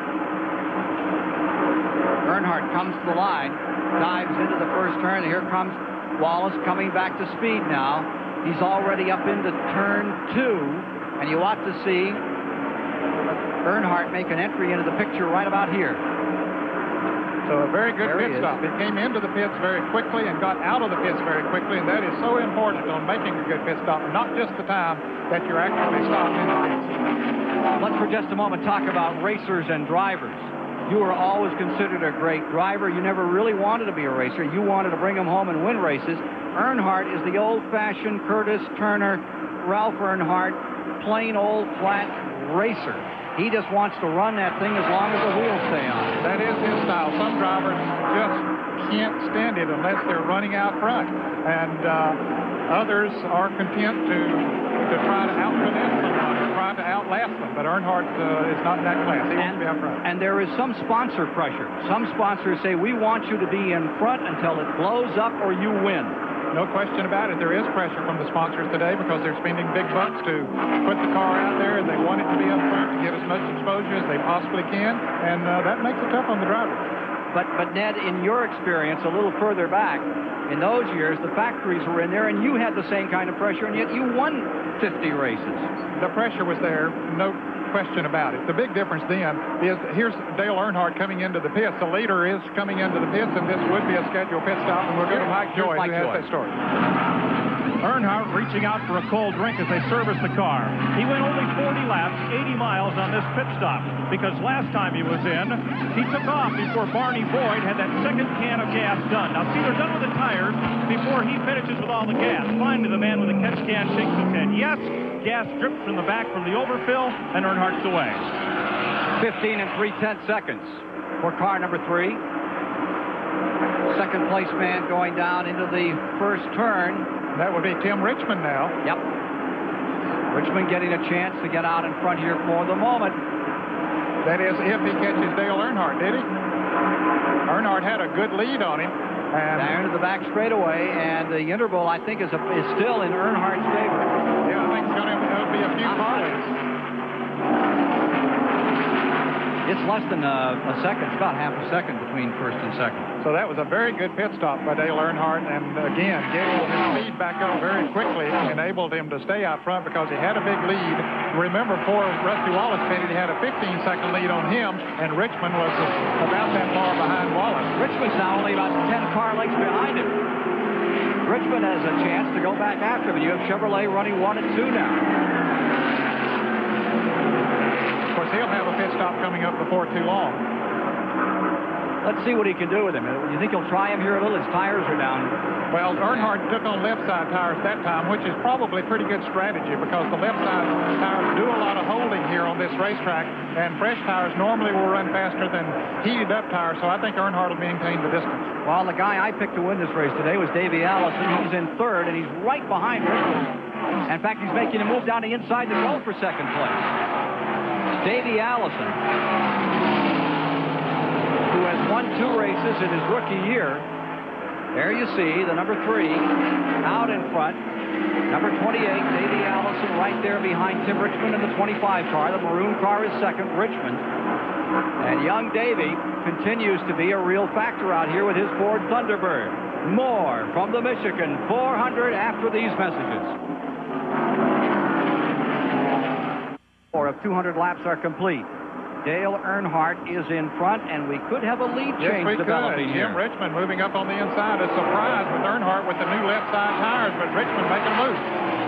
Crowd is up and cheering as Tim Richmond, stretching for three in a row, lengthens that car out a little and pushes the nose into first place.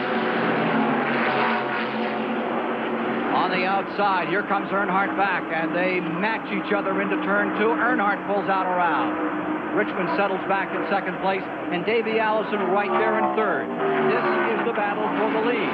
Sometimes when you get those tires, they don't work out quite like you might have hoped. No, they don't, and that is a surprise because the left side tires normally make it stick a little better down on the inside of the track, but Earnhardt's car does not look like it's sticking as well down there as it did earlier.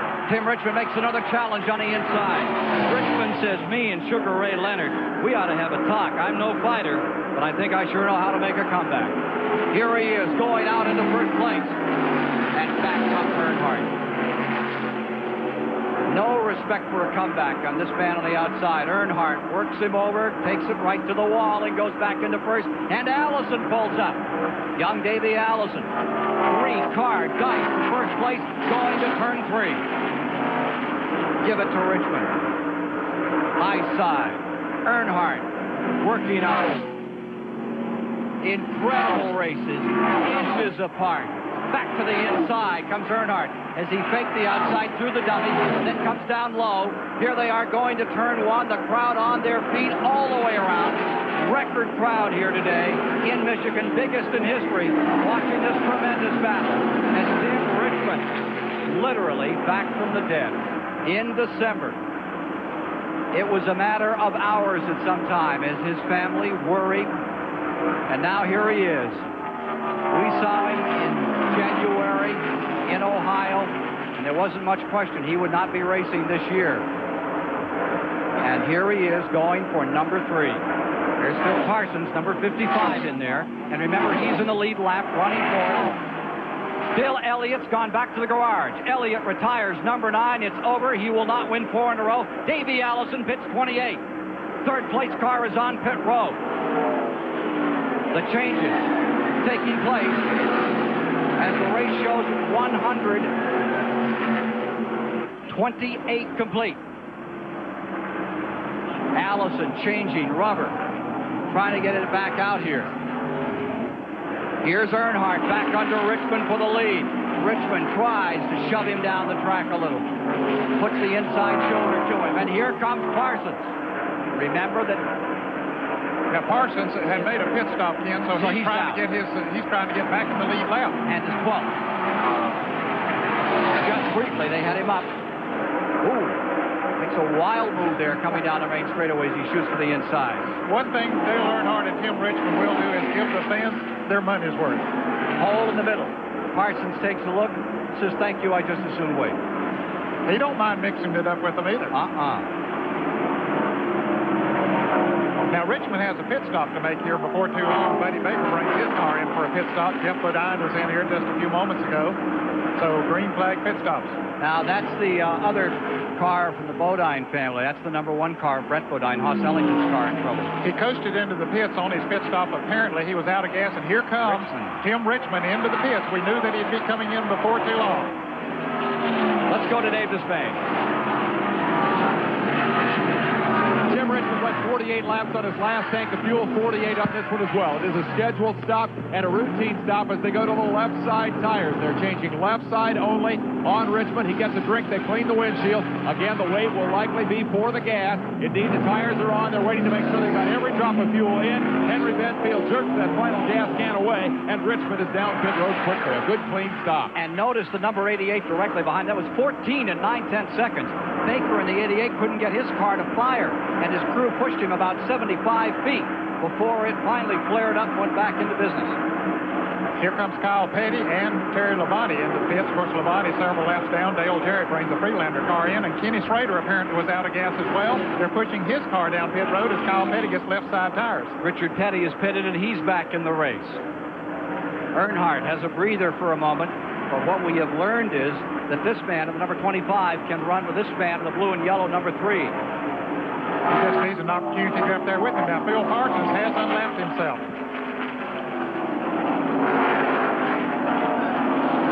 Let's go to Mike Joy, who's standing by with a guy who was hoping for better things today. Well, he's been to victory lane the last three years in a row in this race, Ken, but here he's in the garage. Bill, what finally let go? Well, I think it ended up breaking a valve spring first, and it ended up quitting. I really don't know what the circumstance was, but the car really was working good, and I felt like I had a good shot at Earnhardt, but yet, if you can't finish, you ain't going to win. It'll be tough in the points, too, falling out here. Well, I think that puts us about out of the points because, you know, we keep falling out of races. There ain't no way to win a championship. Tough break for Bill Elliott. That's a big point payoff next week in Daytona Beach. Ken, this car was easy to find. We just followed the long, snaking trail of oil through the garage area. So a tough break for Bill Elliott. He doesn't fall out of too many races, but uh, this is an important one here today. And Dale Earnhardt now a little, breathes a little bit easier because uh, certainly Elliott was one that proved early in the race that he could run with it. Let's talk point standings for just a moment here. With so much money at stake, Dale Earnhardt, the way he's running right now, is going to pocket $150,000 at Daytona. Bill Elliott will come out with a grand, although that could be in jeopardy with what's happened today. Neil Bonnett still very much in this race. Terry Labonte, as you see, is fourth in the standings. Kyle Petty is fifth.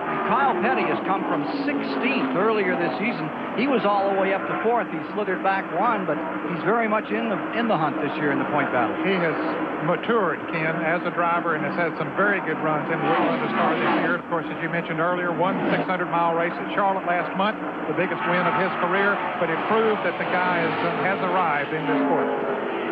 As we watch Dale Earnhardt in number three continue to dominate the Michigan 400 and try to win it for the first time. We'll be back with more of the action shortly.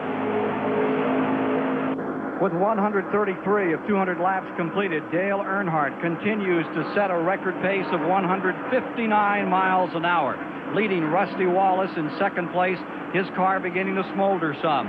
In third spot is Ricky Rudd, fourth is Morgan Shepherd, and fifth is Ken Schrader. In the in the second five, Tim Richmond is now shown in sixth, Buddy Baker in seventh, Kyle Petty is in eighth, Bobby Hillin is in ninth, and Rick Wilson, Florida driver, is in 10th place. There's Rusty Wallace's car, number 27. Vanessa is off her feed. Car named Vanessa, who sat on the, which sat on the pole, is showing a lot of smoke and is beginning to fall back a bit here.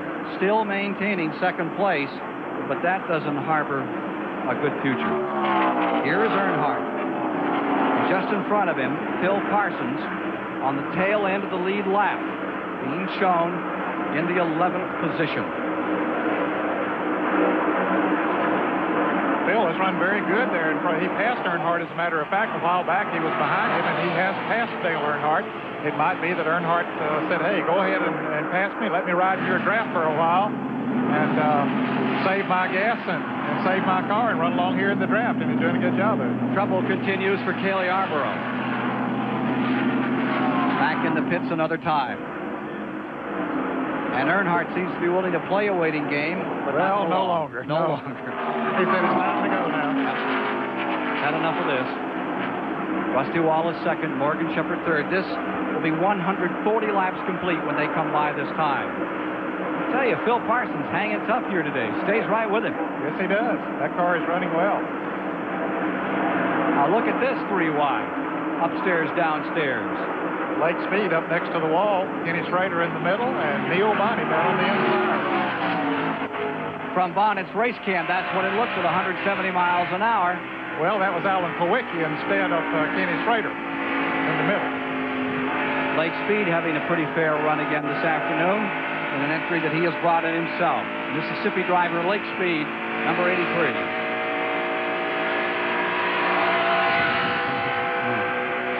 All right, there you see. Well, there's someone not taking any chances today. Well, I'll tell you, that has to be a little warm out there, Ken, but I guess if this is her favorite sport, why not? Just go ahead and uh, well, count it. It's quiet in there, and it looks to me like she has a radio hitched in there, too. Well, maybe she figures she'll get hit by debris or something. That's right. That helmet would help. No sense taking chances. Uh,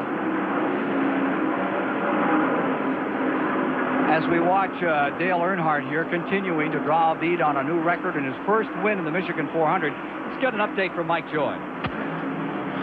Richard Childress, former driver himself, owns the Dale Earnhardt car and runs this team. Well, he rode behind Phil Parsons for a while, and maybe it got a little, not enough wind for him there, or just not enough speed. Well, not enough speed. The car's a little bit loose right there, Mike, and uh, we put on left sides and just a little bit too loose. You know, we get some rights on there, we'll be okay. Do you worry about him building up as big a lead as he had early, maybe running the car too hard? No, you know, we felt the car would stand it, you know, if uh, if we could ever get out front. And if you asked him to back off, would he just laugh at you? No, I didn't ask him to back off. He'd say, if you did. No, we wouldn't. We wouldn't back off. We just got to try to keep our chassis right right now, get it back like it was. Well, Lou LaRosa builds the engines for this car, and they're set to run just as hard as they will go for the full 400 miles. It's always go or blow with car number three with Earnhardt there. You stand on it, and you'll run it just as hard as that car can be run. Now take a look at Neil Bonnett here in car number 75 as he tries to move inside Lake Speed in the 83. They're having a good battle there. Of course, we mentioned earlier that Neil Bonnett is in third place in the point standings. He hasn't had as good a run here today, Ken, as he had hoped to. He qualified way back in the field, but he did lead a lap during the, that only caution that we had. He alertly stayed out there and led a lap, got five bonus points. 15th position being wagered for right here. We'll return with more live coverage of the Michigan 400 after this word from your local station. We have a crack in it here on car number three. He's running side by side with Morgan Shepherd and Vanessa, the number 27 car. Barry Dodson Cruchenbauer names his car. Vanessa definitely has ideas about number three. As you check the interval here, back to the number 27 car. It's about three and two-tenths of a second between Rusty Wallace in second spot and this car number three. And notice that Morgan is able to stay up there at his own clip. Earnhardt is definitely not running the pace he was running earlier, and as Richard Childress, the car owner, said, it's not handling as well in the turns as it did. Phil Parsons made a pit stop while we were on the commercial break in, and he's back in the pits now. He never got his car up to speed after going back on the track, so tough break for Phil Parsons. He was in 13 and 1 10 seconds. He's back on pit road another time now, so that will discount any chance he has of registering a good finish. When we went away for the commercial, Rusty Wallace was just, as you said, a little over three seconds behind Dale Earnhardt. He's less than two seconds now, so he is definitely gaining on him. And Earnhardt is willing to use Morgan Shepherd as part of a two-car draft to foil the efforts of Rusty Wallace to get back in this race. Now there you see the number three of Earnhardt, still seeking that first win in the Michigan 400, leading in the Winston Cup points, right flush against the wall. And we'll check the interval back to the second place car. Two and one tenths of a second. So it continues to be trimmed between first and second. And something's out of sync in the chassis setup on car number three. Now notice he dives way down to the bottom, trying to find a place to run down there, and he leaves Morgan high and dry on the outside. And Rusty Wallace, even though he has some smoke coming from his car, apparently it's not affecting the speed on his Pontiac, but he is uh, definitely picking up on Earnhardt. And their pit stops, which were out of sync for a while, are closer in sync now because Earnhardt stopped not too long after Rusty Wallace did the last time. Each of them will have to stop at least one more time. That last pit stop, there is caution on the track. Well, that's a break for all three. A break for Earnhardt to see if he can sort out the malady the car is currently sustaining. It is an opportunity for Rusty Wallace and the Barry Dodson crew, and Dodson's a good chassis man, to see if he can find anything more to do with his car. And for Tim Richmond, this may be all he needs to make a real hunt out of it for the finish. And, but it was not a break for Morgan Shepherd, who had just gone a left down. Dale Earnhardt had moved around him, so now he's two miles behind. Caution is on the track for the second time today. A record was being established. 159.2. I think they could even stand a couple of laps of caution here and still have a shot at the at the record. They say there's a tailpipe out in turn number two that wasn't there when the race began. Of course, it came off of one of the cars. And, Leaders uh, in. Anything gets on the track, these tires run over, they're very easily cut. And yes, the leaders will all come in, and most of them will take on four tires, and some of them perhaps will make chassis adjustments on their cars. All right, positioning here as we show 149 complete. Yeah, it'll be close. distance to go. It'll be awfully close if they can go the distance from here. That's just a fraction over 100 miles, Ken, and uh, that will 21 gallons of fuel. Now, who gets the best range? Well, Tim Richmond has gotten off good gas mileage. Dave Despain reported that he twice today has gone 48 laps, so he has gone farther than anyone else that we've seen. Isn't it amazing how they have so few problems as you look down pit road here? The old feeding time at the zoo shot. Just a mass of people and a lot of work going on. You can see some of the crew members. Someone reached inside of Buddy Baker's car, I believe it was, and made a chassis adjustment on him. And this is the time you do that. If you were racing, would you want to be on the entrance to the pits or the exit to the pits?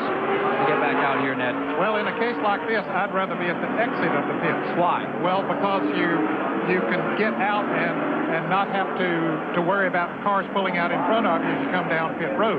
Of course, you have to be concerned when you pull out of the pits that you don't pull out in front of someone, but that's your call. If you're watching our live action for the first time, we talk about these pit stops and they put on two tires in uh, 12 seconds. They fuel the car. It's not only the stop on pit road, but it's also the going in and getting out that is crucial. Especially during green flag pit stops, it is very crucial at that time. Aerodynamics have become critically important in NASCAR racing, and this season the Ford Thunderbird has been significantly improved. Mike Joy shows us how. Ford has completely reskinned the Thunderbird for 1987. Its aggressive-looking new beak is the talk of the garage area. But in the wind tunnel, this made hardly any difference in drag. The big news is at the rear of the car, where T-Bird buyers wanted more trunk room. And look at the difference between this and last year's car. For the racer, it means the location of this rear spoiler is now one inch further back and two inches higher. It gets much cleaner, freer air than last year's car. And that's what's keeping these birds bolted to the ground at speeds over 200 miles an hour. And next year, Oldsmobile brought this 1988 Cutlass to the track Friday for NASCAR to look at and hopefully approve the body style and aero additions for 1988 competition. As you see, Cale Yarborough being pushed back here. He overshot his pit, I believe, and he's, he's down some and has been all afternoon, the six-time winner. Dave Gerard of Oldsmobile brought that car out for NASCAR to see. They only kept it here an hour, and they would not keep it here for us today. That's the new Cutlass Supreme. You're getting a sneak preview, as they say in the magazine business, of the look of 88. Gerard the next day brought a Duesenberg out here, one of the old uh, uh, boat tail Duesenbergs, you know, with a very sleek uh, speedster tail on it. Richard Petty walked by it and said, you know, if they could run that thing backwards, they might have a car. it did have a very pointed rear end, and it certainly would have split the wind open. We're still under caution. Second caution of the day at the Michigan 400. Glad you're aboard. The Greater Hartford Open. Canon Greater Hartford Open coming up. Pat Summerall, Ken Venturi standing by to greet you as soon as this one is over. One lap, and they're going to be racing here this afternoon. And as they prepare for the restart, after everyone had a wholesale opportunity to change whatever they needed on pit road, for everyone, we're ready to go again. And Now, they'll line up this way. A couple of cars came in before you give that. Dale Jarrett and Richard Petty have come in to cap their tanks off, hoping that they can go the distance from here, and they only have 48 laps to go. You're Good with move. Richard Petty as he comes down pit road, moves by Cale Yarborough. Rick Wilson has also come in to top his tank. Smart move on their part. Very definitely. Dale Earnhardt in first, Rusty Wallace in second, Tim Richmond in third.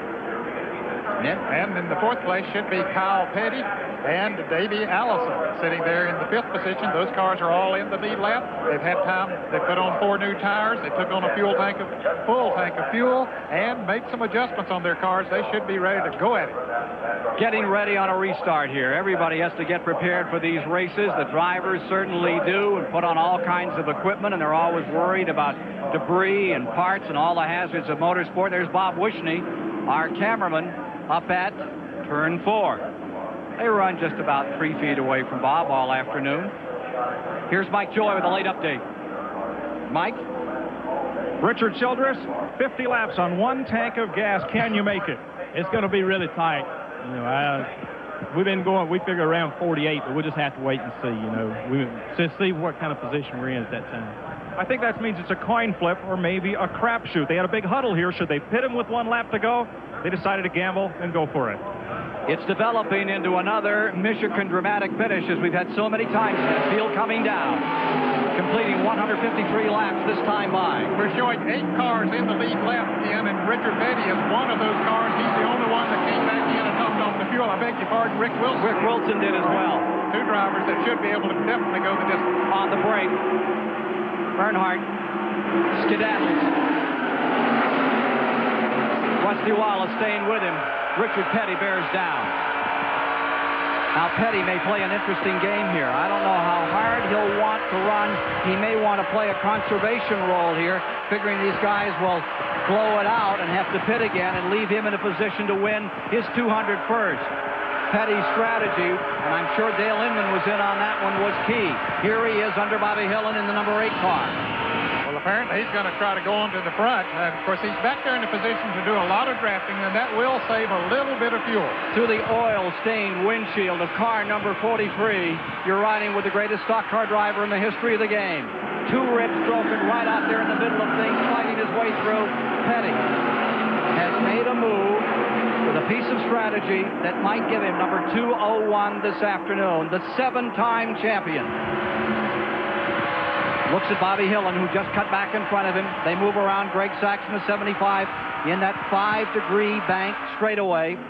Battle for second. Rusty Wallace puts the Pontiac there. Tim Richmond in third. Oh, oh on the Wallace Shepherd. He got a little high coming off of that turn and straightened the wall.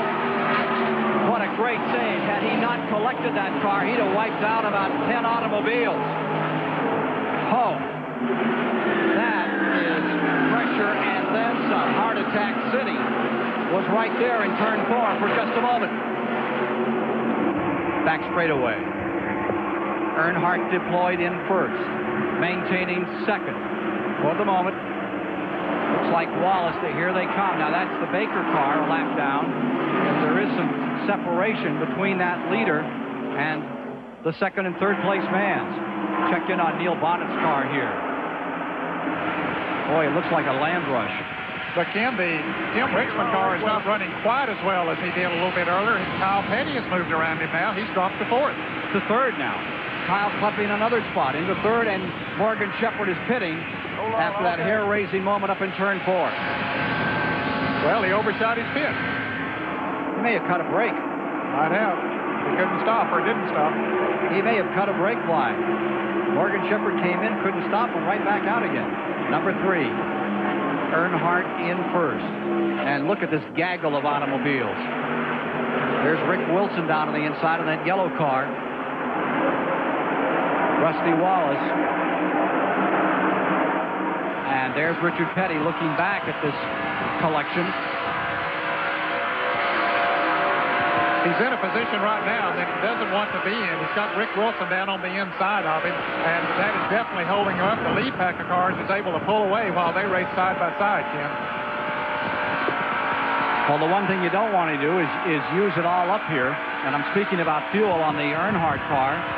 He's out in front and would like someone, I would think, to draft it if he could find a lap car to try to conserve a little. But it'll be a while before he'll get a lap car. Here's Morgan Shepherd coming back into the pit, so this is a very costly situation for him. He was running in ninth place, one lap behind the leader. Gears down.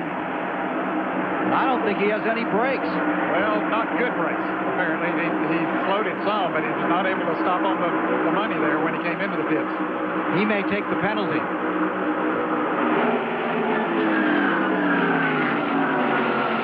Well, he has to go if he misses his pits like that. There's Waltrip scooting by Richard Petty. Darrell Waltrip, I don't believe is in that lead group. He's down a lap. Yes, he is. But he's still in there racing hard in the thick of the, the battle. Well, Richard Petty is adding to the drama as we look at Rusty Wallace here. Second place man of this car, number three, Earnhardt. Joey Bell five at 158 laps. And Richard Petty is coming into the pit. Petty is pitting. Richard Petty, unscheduled stop on pit road. He has been into someone. There's the, the, right side of that car, Ken, has some paint knocked off of the right side. Of course, we saw him in the middle of that three-car battle there a moment ago. Let's go to Mike Joy. Well, they sure didn't want to come in as Richard gets a cold drink, and you see the front of that car is all sandblasted. It is right side tires. Richard felt he had one going down, and the tire has got white paint all over it. I think he hit the wall. Well, Mike, he's going to be able to stay in the lead lap as he goes out a very quick pit stop by Dale Inman and the crew. Dale Earnhardt now coming down to the start-finish line, and Petty is already into turn two, so he's staying in the lead lap. Now what he needs is a caution. There's that tire. They took off it.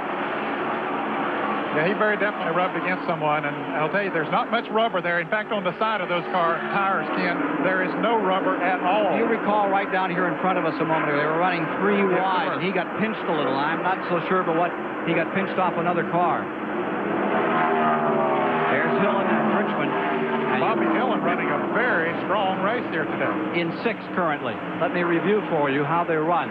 Earnhardt first, Rusty Wallace second, Kyle Petty third, Davey Allison fourth, Tim Richmond fifth, Bobby Hillin sixth, Rick Wilson seventh, Richard Petty eighth, all in the lead lap. Down one lap in ninth, Darrell Waltrip, in tenth, Lake Speed, 11th, Ken Schrader, 12th, Alan Kulwicki.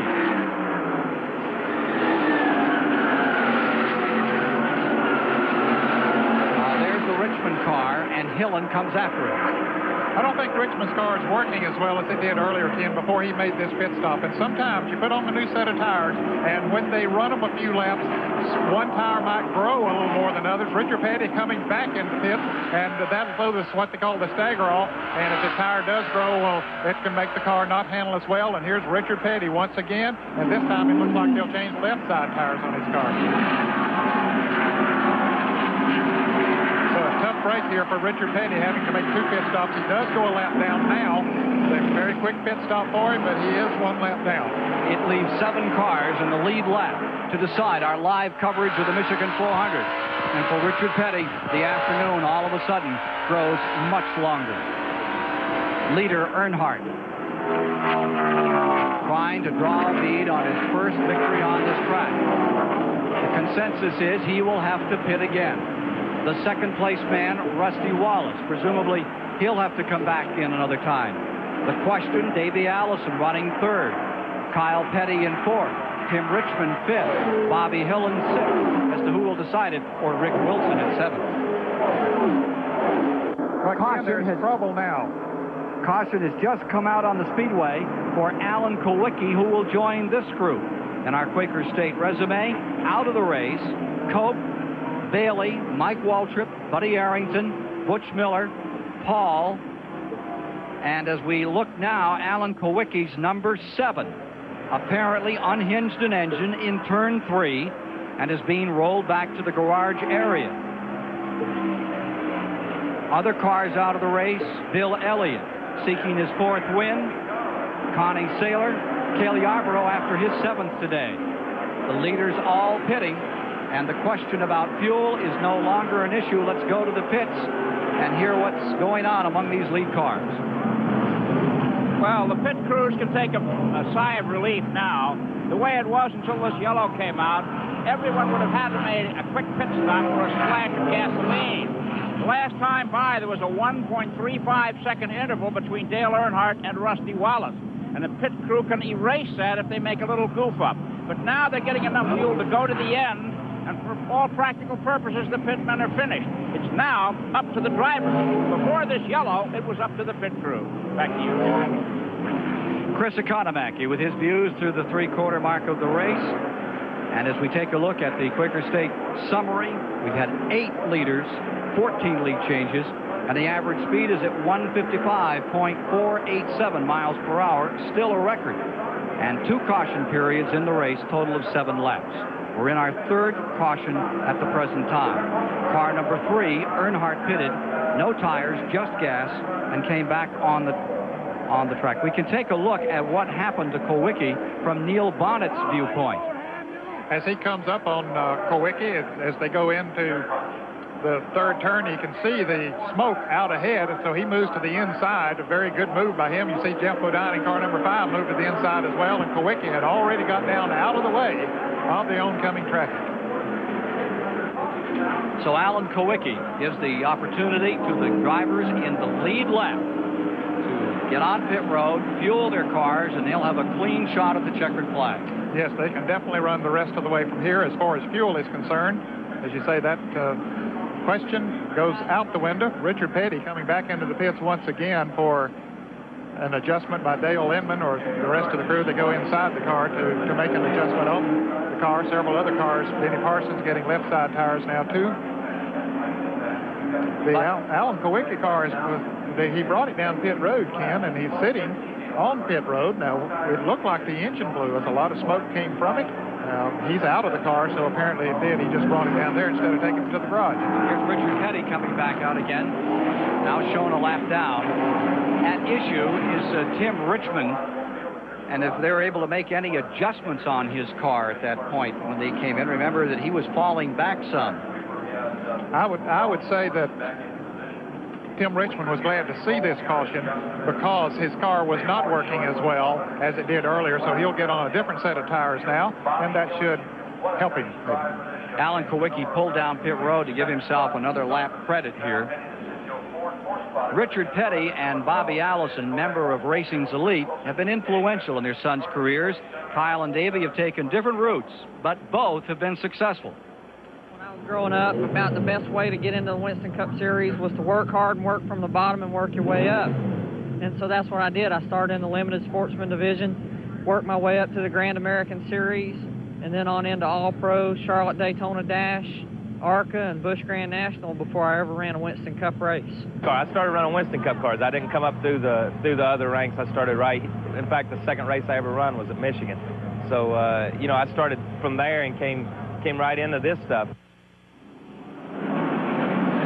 The story's been told before how he went to Daytona in his very first race and won an Automobile Racing Club of America event. And things certainly looked uh, very rosy, and it looked like it was going to be a Cinderella story. But the wheel fell off the wagon right after that, and it was a long time before uh, he won in Richmond, Virginia, in a race in which he was really blessed. The leaders all crashing as, as uh, Dale Earnhardt and Darrell Waltrip got together.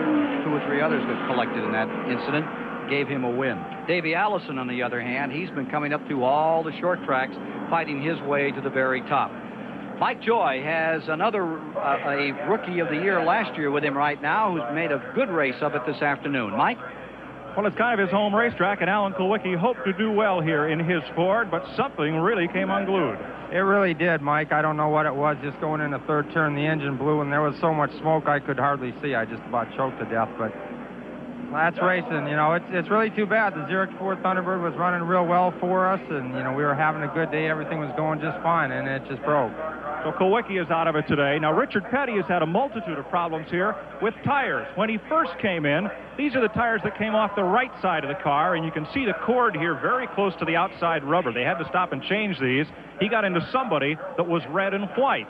The left side tires look fine, but when he came back for that second unscheduled green stop, here are the left side tires with somebody's yellow and red paint on them. Now, back in the 60s, Detroit experimented on passenger cars with red striped tires, and Goodyear had blue streak tires.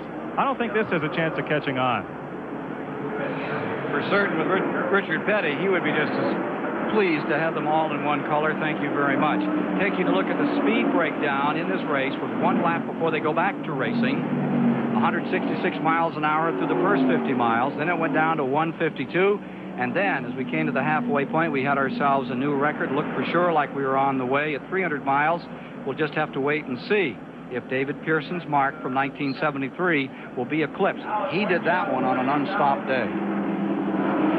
David Pearson uh, has never announced his retirement, Ken, but he hasn't driven in more than a year now. You know what I miss more than anything? Were those wonderful moments on pit road when Leonard Wood would get the car ready all those years and they always qualified on the pole, and David would go high. And poor Leonard Wood would be all nervous and concerned and have no idea where his driver was. David knew exactly when he was going to run, but he'd lead Leonard along for a long time. They still kid about that. David Pearson holds uh, one of the most enviable records here at Michigan from 72 to 76 in NASCAR and IROC events. He won eight races and 11 starts. If you're watching today, wish you were here. Ready for restart. Earnhardt looking to win for the first time. See Schrader deployed down underneath him.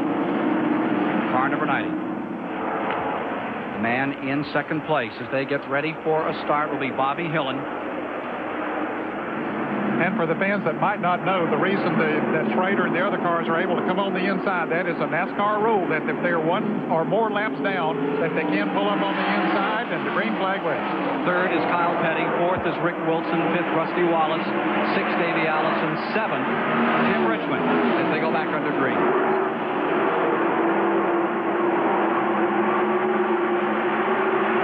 Earnhardt outdistancing the field and a blown engine on Rick Wilson. He almost loses control. He's scattering, and that could, looks like he's throwing oil.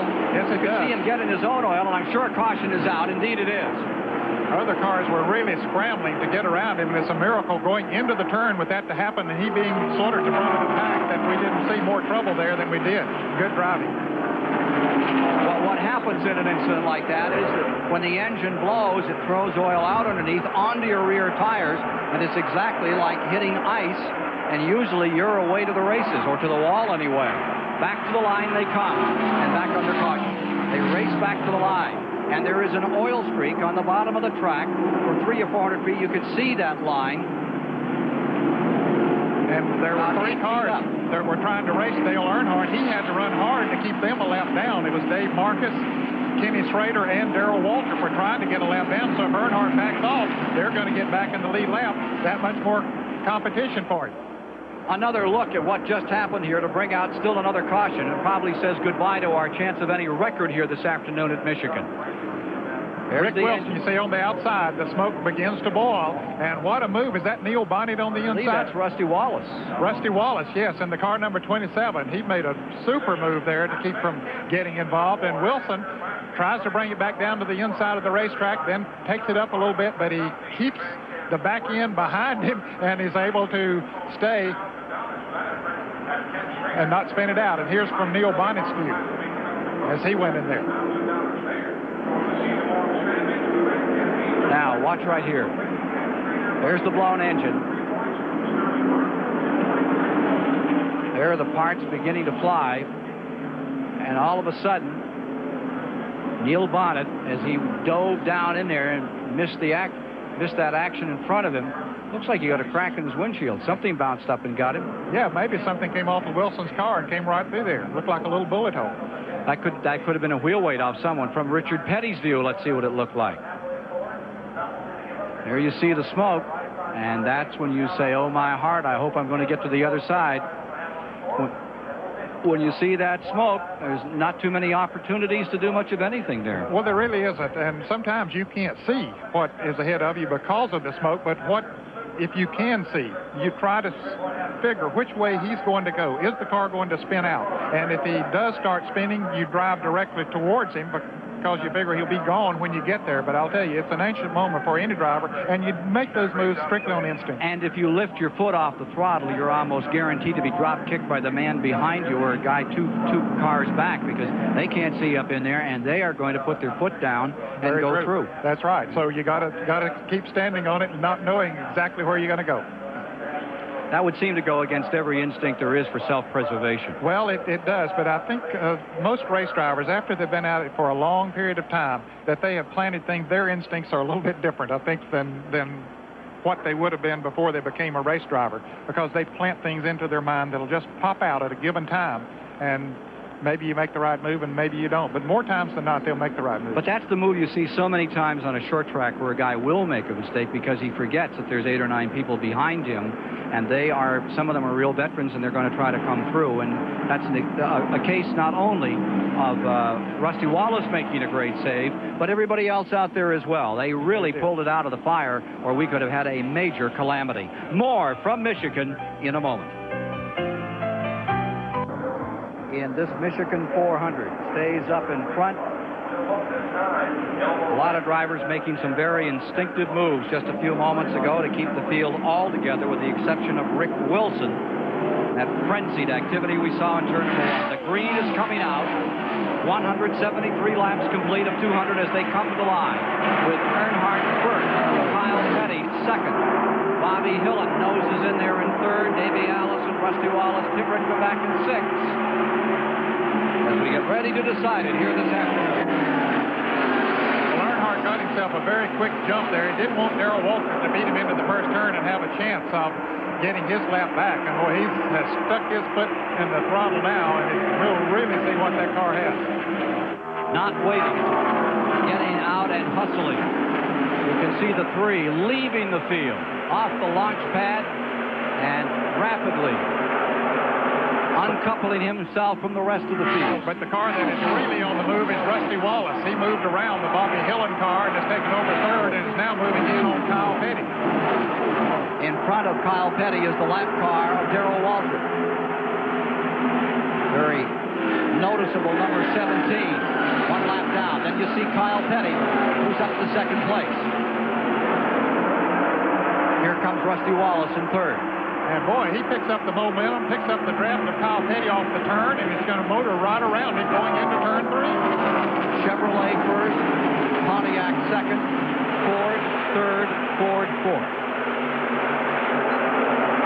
Wallace had the strength yesterday in qualifying. Now, does he have enough against Dale Earnhardt? Kyle Petty starts to race him side by side. Kyle on the inside going back for second spot. And that gives Earnhardt the opportunity to pull out another 50 or 60 feet. When you see side-by-side racing on a super speedway, that gives the other fellows who are running single file a definite advantage. Back straightaway. A bold move by Kyle Petty as he tries to get back into the content for second position on Rusty Wallace. And if they would go into that single file line, the skirmish could develop with this man for the lead. Darrell Waltrip has caught up to Dale Earnhardt. He was uh, some 10 or 12 car behind him, Ken, after their green flag, and now he has caught up to him. So either Earnhardt's not running as fast or Darrell Waltrip has picked up some speed. 24 to go. Wallace dispatches Kyle Petty again and clambers back after Earnhardt. There's Davey Allison up on the high side as he moves around Buddy Baker. Meanwhile, in front, Waltrip looks like he's ready to try to get his lap back. Yes, he is. He is running very good now. The best we've seen him run all day. A breather for Earnhardt. If he could lock up in a draft with Waltrip, that might give him an advantage. 23 laps to go this time by. The Cannon Greater Hartford Open is next this afternoon on CBS. We're live with you at Michigan International Speedway. Half million dollars approximately to be decided in the next 22 laps next time by. They shriek and howl as they move down into turn number one. Earnhardt deliberately setting a pace that he thinks will bring him the checkered flag. Is it all the car has? I would presume so. That's his style. Wallace and now Kyle Petty willing to work in a draft and try to climb back up the ladder for one more peek at the top. Waltrip was able to catch Earnhardt, but he hasn't been able to move any closer to him, Ken, since he moved up. So maybe Earnhardt was just sort of cooling it there.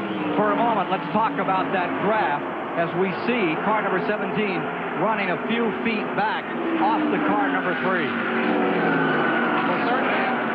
When you're running about the distance that Darrell Waltrip is behind Dale Earnhardt, he is feeling the draft off of Earnhardt's car, which opens the air up, makes thinner air for him to run in, and that enables him to pick up speed, particularly on the straightaways here. Closing down. Wallace pulling in on the leader. Inch at a time. He is gaining on him right now, especially after they got into single file format, as he and Kyle Petty are now, and Kyle's coming right on up with Rusty Wallace. So the two of them working together seems to be an advantage. At turn one, definitely Wallace closing the interval. It shrinks. Smoke billowing out from the back of old Vanessa, car number 27.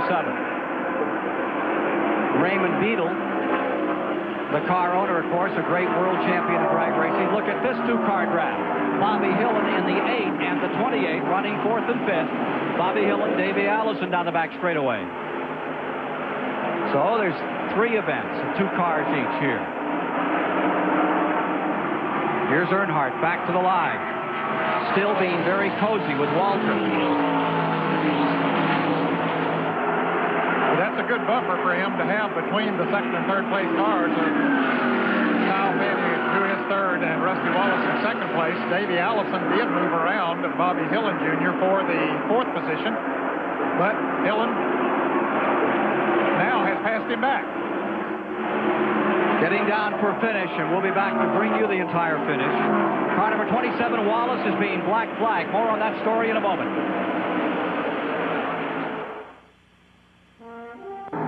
Smoke billowing out of the back of the car, NASCAR officials ask him to come in.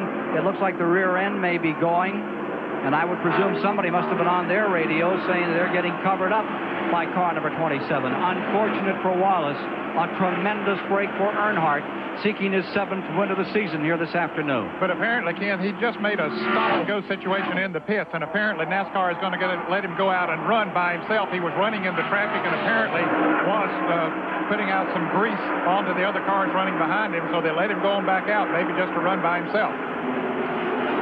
Fearing that if something should happen, that those other leaders would be in trouble directly behind him. Here's Davey Allison, who now finds himself up into the fourth position. Let's review the top positions for you. Earnhardt first, Kyle Petty second, Bobby Hillin third, Davey Allison fourth, Tim Richmond fifth, Rusty Wallace shown in sixth. Those cars are in the lead lap, but now Davey Allison has moved around the Bobby Hillin car and has taken over the third position, and Tim Richmond is moving in now on Bobby Hillin. So we got a good battle right there. 183 laps complete. Sorry, Ned. One, 183 down. 184 as they cross the stripe.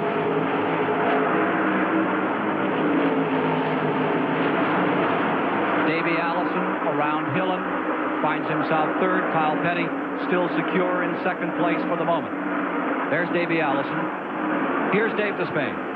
After finishing last in their last two races and blowing motors in three races in a row, Raymond Beadle's, number Caution is out. Pontiac, had a shot at this one. Caution had just come out on the racetrack. Raymond, quickly, what happened? Well, they black flagged us and brought us in because they said we've been smoking. We knew it was. It just had a little crack in the pan. We were running okay, but I guess we got beat by the rules again today. It had been smoking all day. Did it get worse all of a sudden? And why didn't they bring you in and, and check it under that yellow? Well, I don't know. We could have made it the rest of the race. There was no problem. We just had a small crack in the pan. We tried to tell them, but they brought us in just to make sure it wasn't leaking oil on the track. So it was a consultation flag that brought Beadle in and cost this team a shot at victory here today. They still have hope, but now there's caution on the racetrack. Ken? That is about as hard a break as you can get. It is a tough break, no question about it. But apparently there was a lot of uh, oil or grease or whatever it is coming from the car and getting on the windshield of Kyle Petty and the other cars who were running behind him at that time. And I'm sure that that was the consideration by NASCAR. Do you think that was the prudent move there? Yeah, I think so. Harry Gant is on pit road and back out again. We are under a fourth caution now. Checking the track, I believe, in turn one. Indeed, they are. Back in a moment. Some other crews had called in, Ned. Indeed, one had. Kyle Petty. Yes, he had called in to his crew and said that no oil was coming out of Rusty Wallace's car number 27, just smoke. So apparently it wasn't bothering him that much. So that NASCAR apparently felt differently about it and decided to black flag him there for a moment. Wanted to take a gander.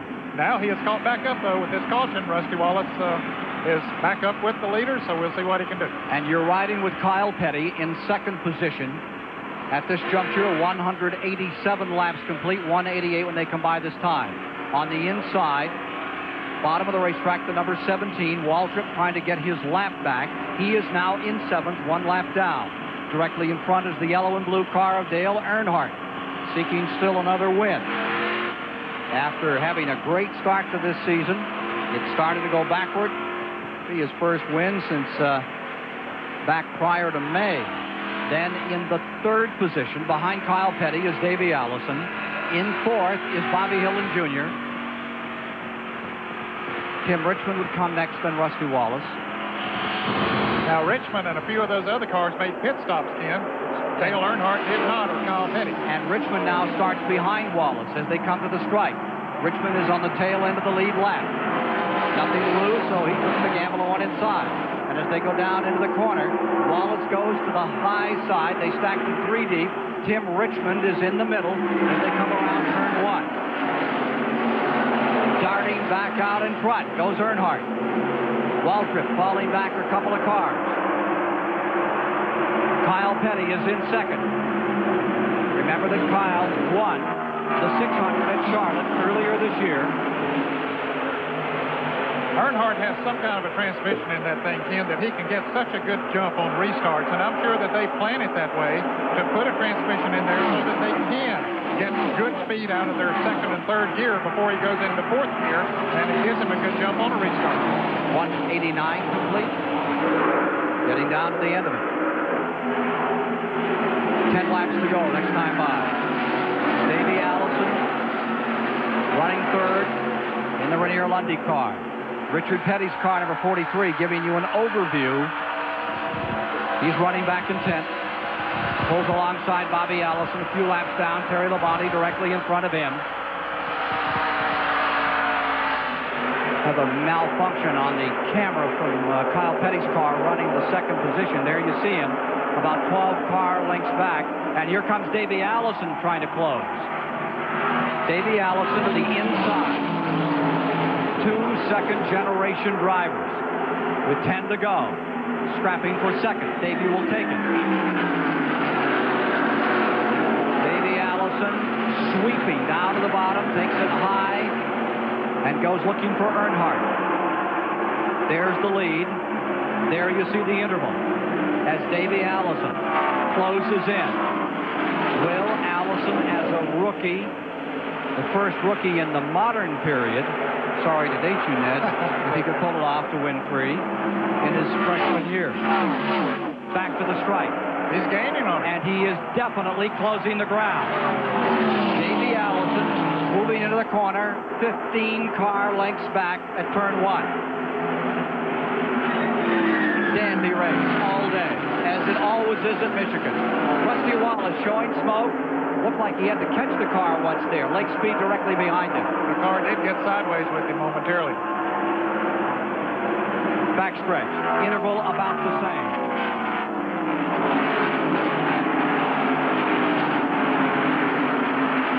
Laps trickling away.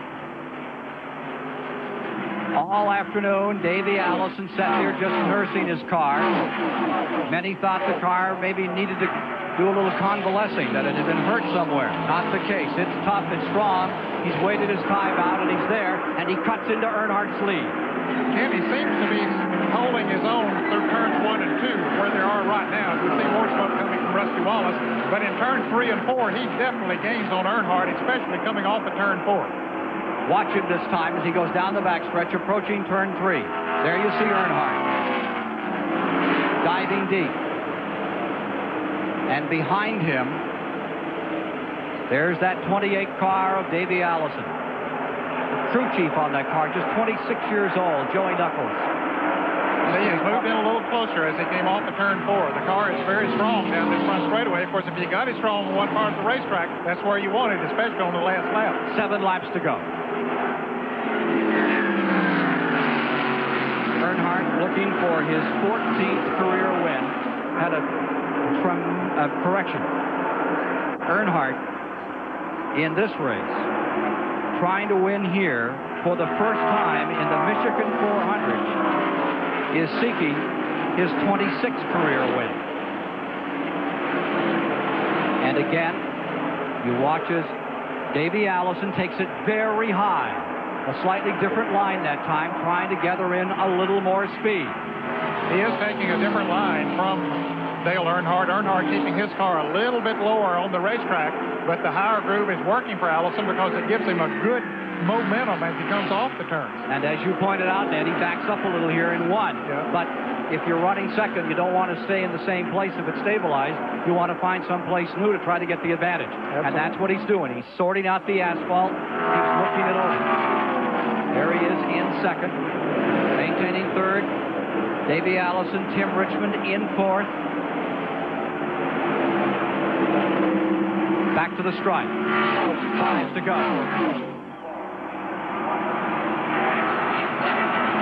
At that time, Davey Allison took a big bite out of that lead. He is definitely closing in. What poise for a new driver moving into the Winston Cup Series. Of course, he comes by it naturally. He's been at a racetrack since he was one year old. But Earnhardt gained a little back on him through turns one and two. But when they hit the straightaway on the backstretch, Allison is able to pick up a little draft now, moves in a little closer, and then as he moves into the turn three, he moves in closer yet. There's the overview of the top three. Petty dispatched out back in the middle. Davey Allison up front. Dale Earnhardt. Waltrip a lap down. Maintaining seventh. To the stripe. And four to go is the signal. Harold Kinder holding out four fingers to them as they flash below the starter's stand. And into the corner. Allison trying to think up something. Meanwhile, Kyle Petty wants to get back into it. Kyle trying to close up. New talent making their weight felt in Winston Cup, and you're seeing it here this afternoon. Now we just have our picture back in Kyle Petty's car. He maintains third. He tries a little lower line here. And Davey Allison going a little higher in turn four, but it's working for him because he has momentum when he comes off of that turn. But he's if he catches Earnhardt, can he pass him? And three to go, and that time Davey went all the way to the bottom. He went right to the bottom of the track. The difference is 3.03. He's testing to see where he can make his move if indeed he is, is able to get right up on the back bumper of Dale Earnhardt. Time is running out on him, though. Here's Mike Joy. Joey Knuckles, crew chief for Davey Allison. He's caught him. Now, what can he do with him? Well, right now he's out there hunting him a place in line, you know, uh, trying to figure out where the weak spots are. We're going to have to get a run at Old Dale. He's run awful good all day, but we've been right there digging, so uh, this is it for the money. I hope to see you in a little while. You're only going to get one shot. This is it. and two to go. Two laps remaining. young Davey Allison. Father has won 82. Some people say he's won 83 races. Seeking his third win. This is his freshman year, his rookie year. Been some time since we've had a rookie like this. And car owners like Ranier and Lundy willing to gamble on a rookie with a piece of equipment that had been Cale Yarborough's property for so many years. Ken, we talked at the top of the show about the youth. Kyle Petty is 27 years old. Davey Allison is 26 years old. Dale Earnhardt, not an old man at 35. They're trying to age him a little right here as the white flag comes out. Down to the stripe, dropping all the way below the line. Earnhardt getting really fancy as he tries to break the draft, and Allison moves in. Davey Allison definitely closed the ground. But Earnhardt's car working so well on the low side of the racetrack in turns one and two will let him pick up a little bit of an advantage. It might be enough to hold off Allison's advantage in three or four, but we'll see. Here they come. Last lap to decide it all. Earnhardt, the defending Winston Cup champion, trying to hold off Davey Allison. Allison is making his move. He closes. He pulls up. He's pulling alongside. Davey Allison on the high side. Earnhardt on the bottom. Here they come to the line. Allison trying to drop low as they come to the line. It will be by four or five car lengths. Car number three. He gave him a thrill. Earnhardt has done it. Joey Knuckles and his team will have to wait another day here in Michigan. Cecil Gordon, ecstatic. Lou LaRosa, Kirk Shelmerdine. Boy, for all those guys, this is some moment. Dale winning number 27, Super Speedway win number 13. How about that? I'll tell you, he drove a tremendous race today, but he had a race to drive on those last few laps because he had some competition on his tail. Dale Earnhardt, one tough customer, proving to be so here at Michigan today. His first victory here. His best previous finish, 1984 when he finished second. Let's go down to Mike Joy with that second place team. Joey, you guys were jumping almost as if you'd won this race, but not quite a super run for you folks today. Well, we had a couple unscheduled stops here. Uh, we our first caution flag stop. We left out of here and we had an equalized tire, and then we run over something when Rick Wilson blew his engine down there. So we had to come back in. So it was catch up all day long. We we practiced good here, and uh, this is Davey's first run, of course, here in a Winston Cup car, and I'm just so tickled for him and the car owners, the people at Texaco, and this my whole crew here. Man, they really fight hard. You're going to hear a lot from us in the future. Well, you guys were waving and cheering at him afterwards. Congratulations on a good run today. Thank you. We'll be back. Winner pulling in to victory lane. Dale Earnhardt has done it again for this fine Richard Childress team. We'll be down there to talk with him in just a moment. Well, he gave it a great run today, Ned. No question about it. The car worked well, excepting one time when they put on left side tires, they slowed a little bit from what he had been running, but once they got a caution flag, were able to put four tires on it, then he was the class of the field after that. Taking a big drink of water, just relaxing for a moment. Wipe off some of the grime, all that tire and He grease and He has had Dust. a tremendous year this year on the circuit. Of course, he leads the point standings, and of course is assured of, of uh, that $150,000 bonus that Winston will pay next week after the race at Daytona. No, she's not here. Kyle Petty may move back into fourth on the uh, effort he put out today. We'll have to wait and see the total tabulated points. Victory Lane, the assembly beginning to gather there for the awards program to the number three for the seventh time this year, coming home victorious. It's Dale Earnhardt's day. The man who has won some $5,600,000 has just added a fair-sized bundle as he steps out. Here's Chris Economaki. We've got here's here's the winner, Dale Earnhardt, smiling and acknowledging the plaudits of the crowd. They booed him when he was introduced this morning. Doesn't make any difference what they say, does it, Dale?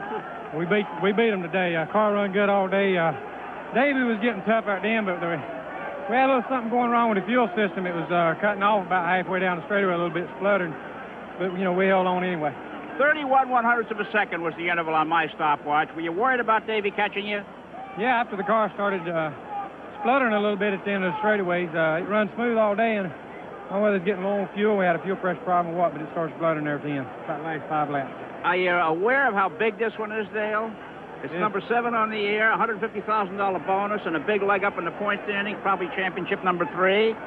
Well, it, it means a lot for Chevrolet to win here at Michigan for a long, for the first time in a long time. Uh, we've been working awful hard on this Monte Carlo, and uh, Chevrolet helped us out with some tests we did up here, and you know the car ran fine. Richard and Lou and all the guys they just did a super job.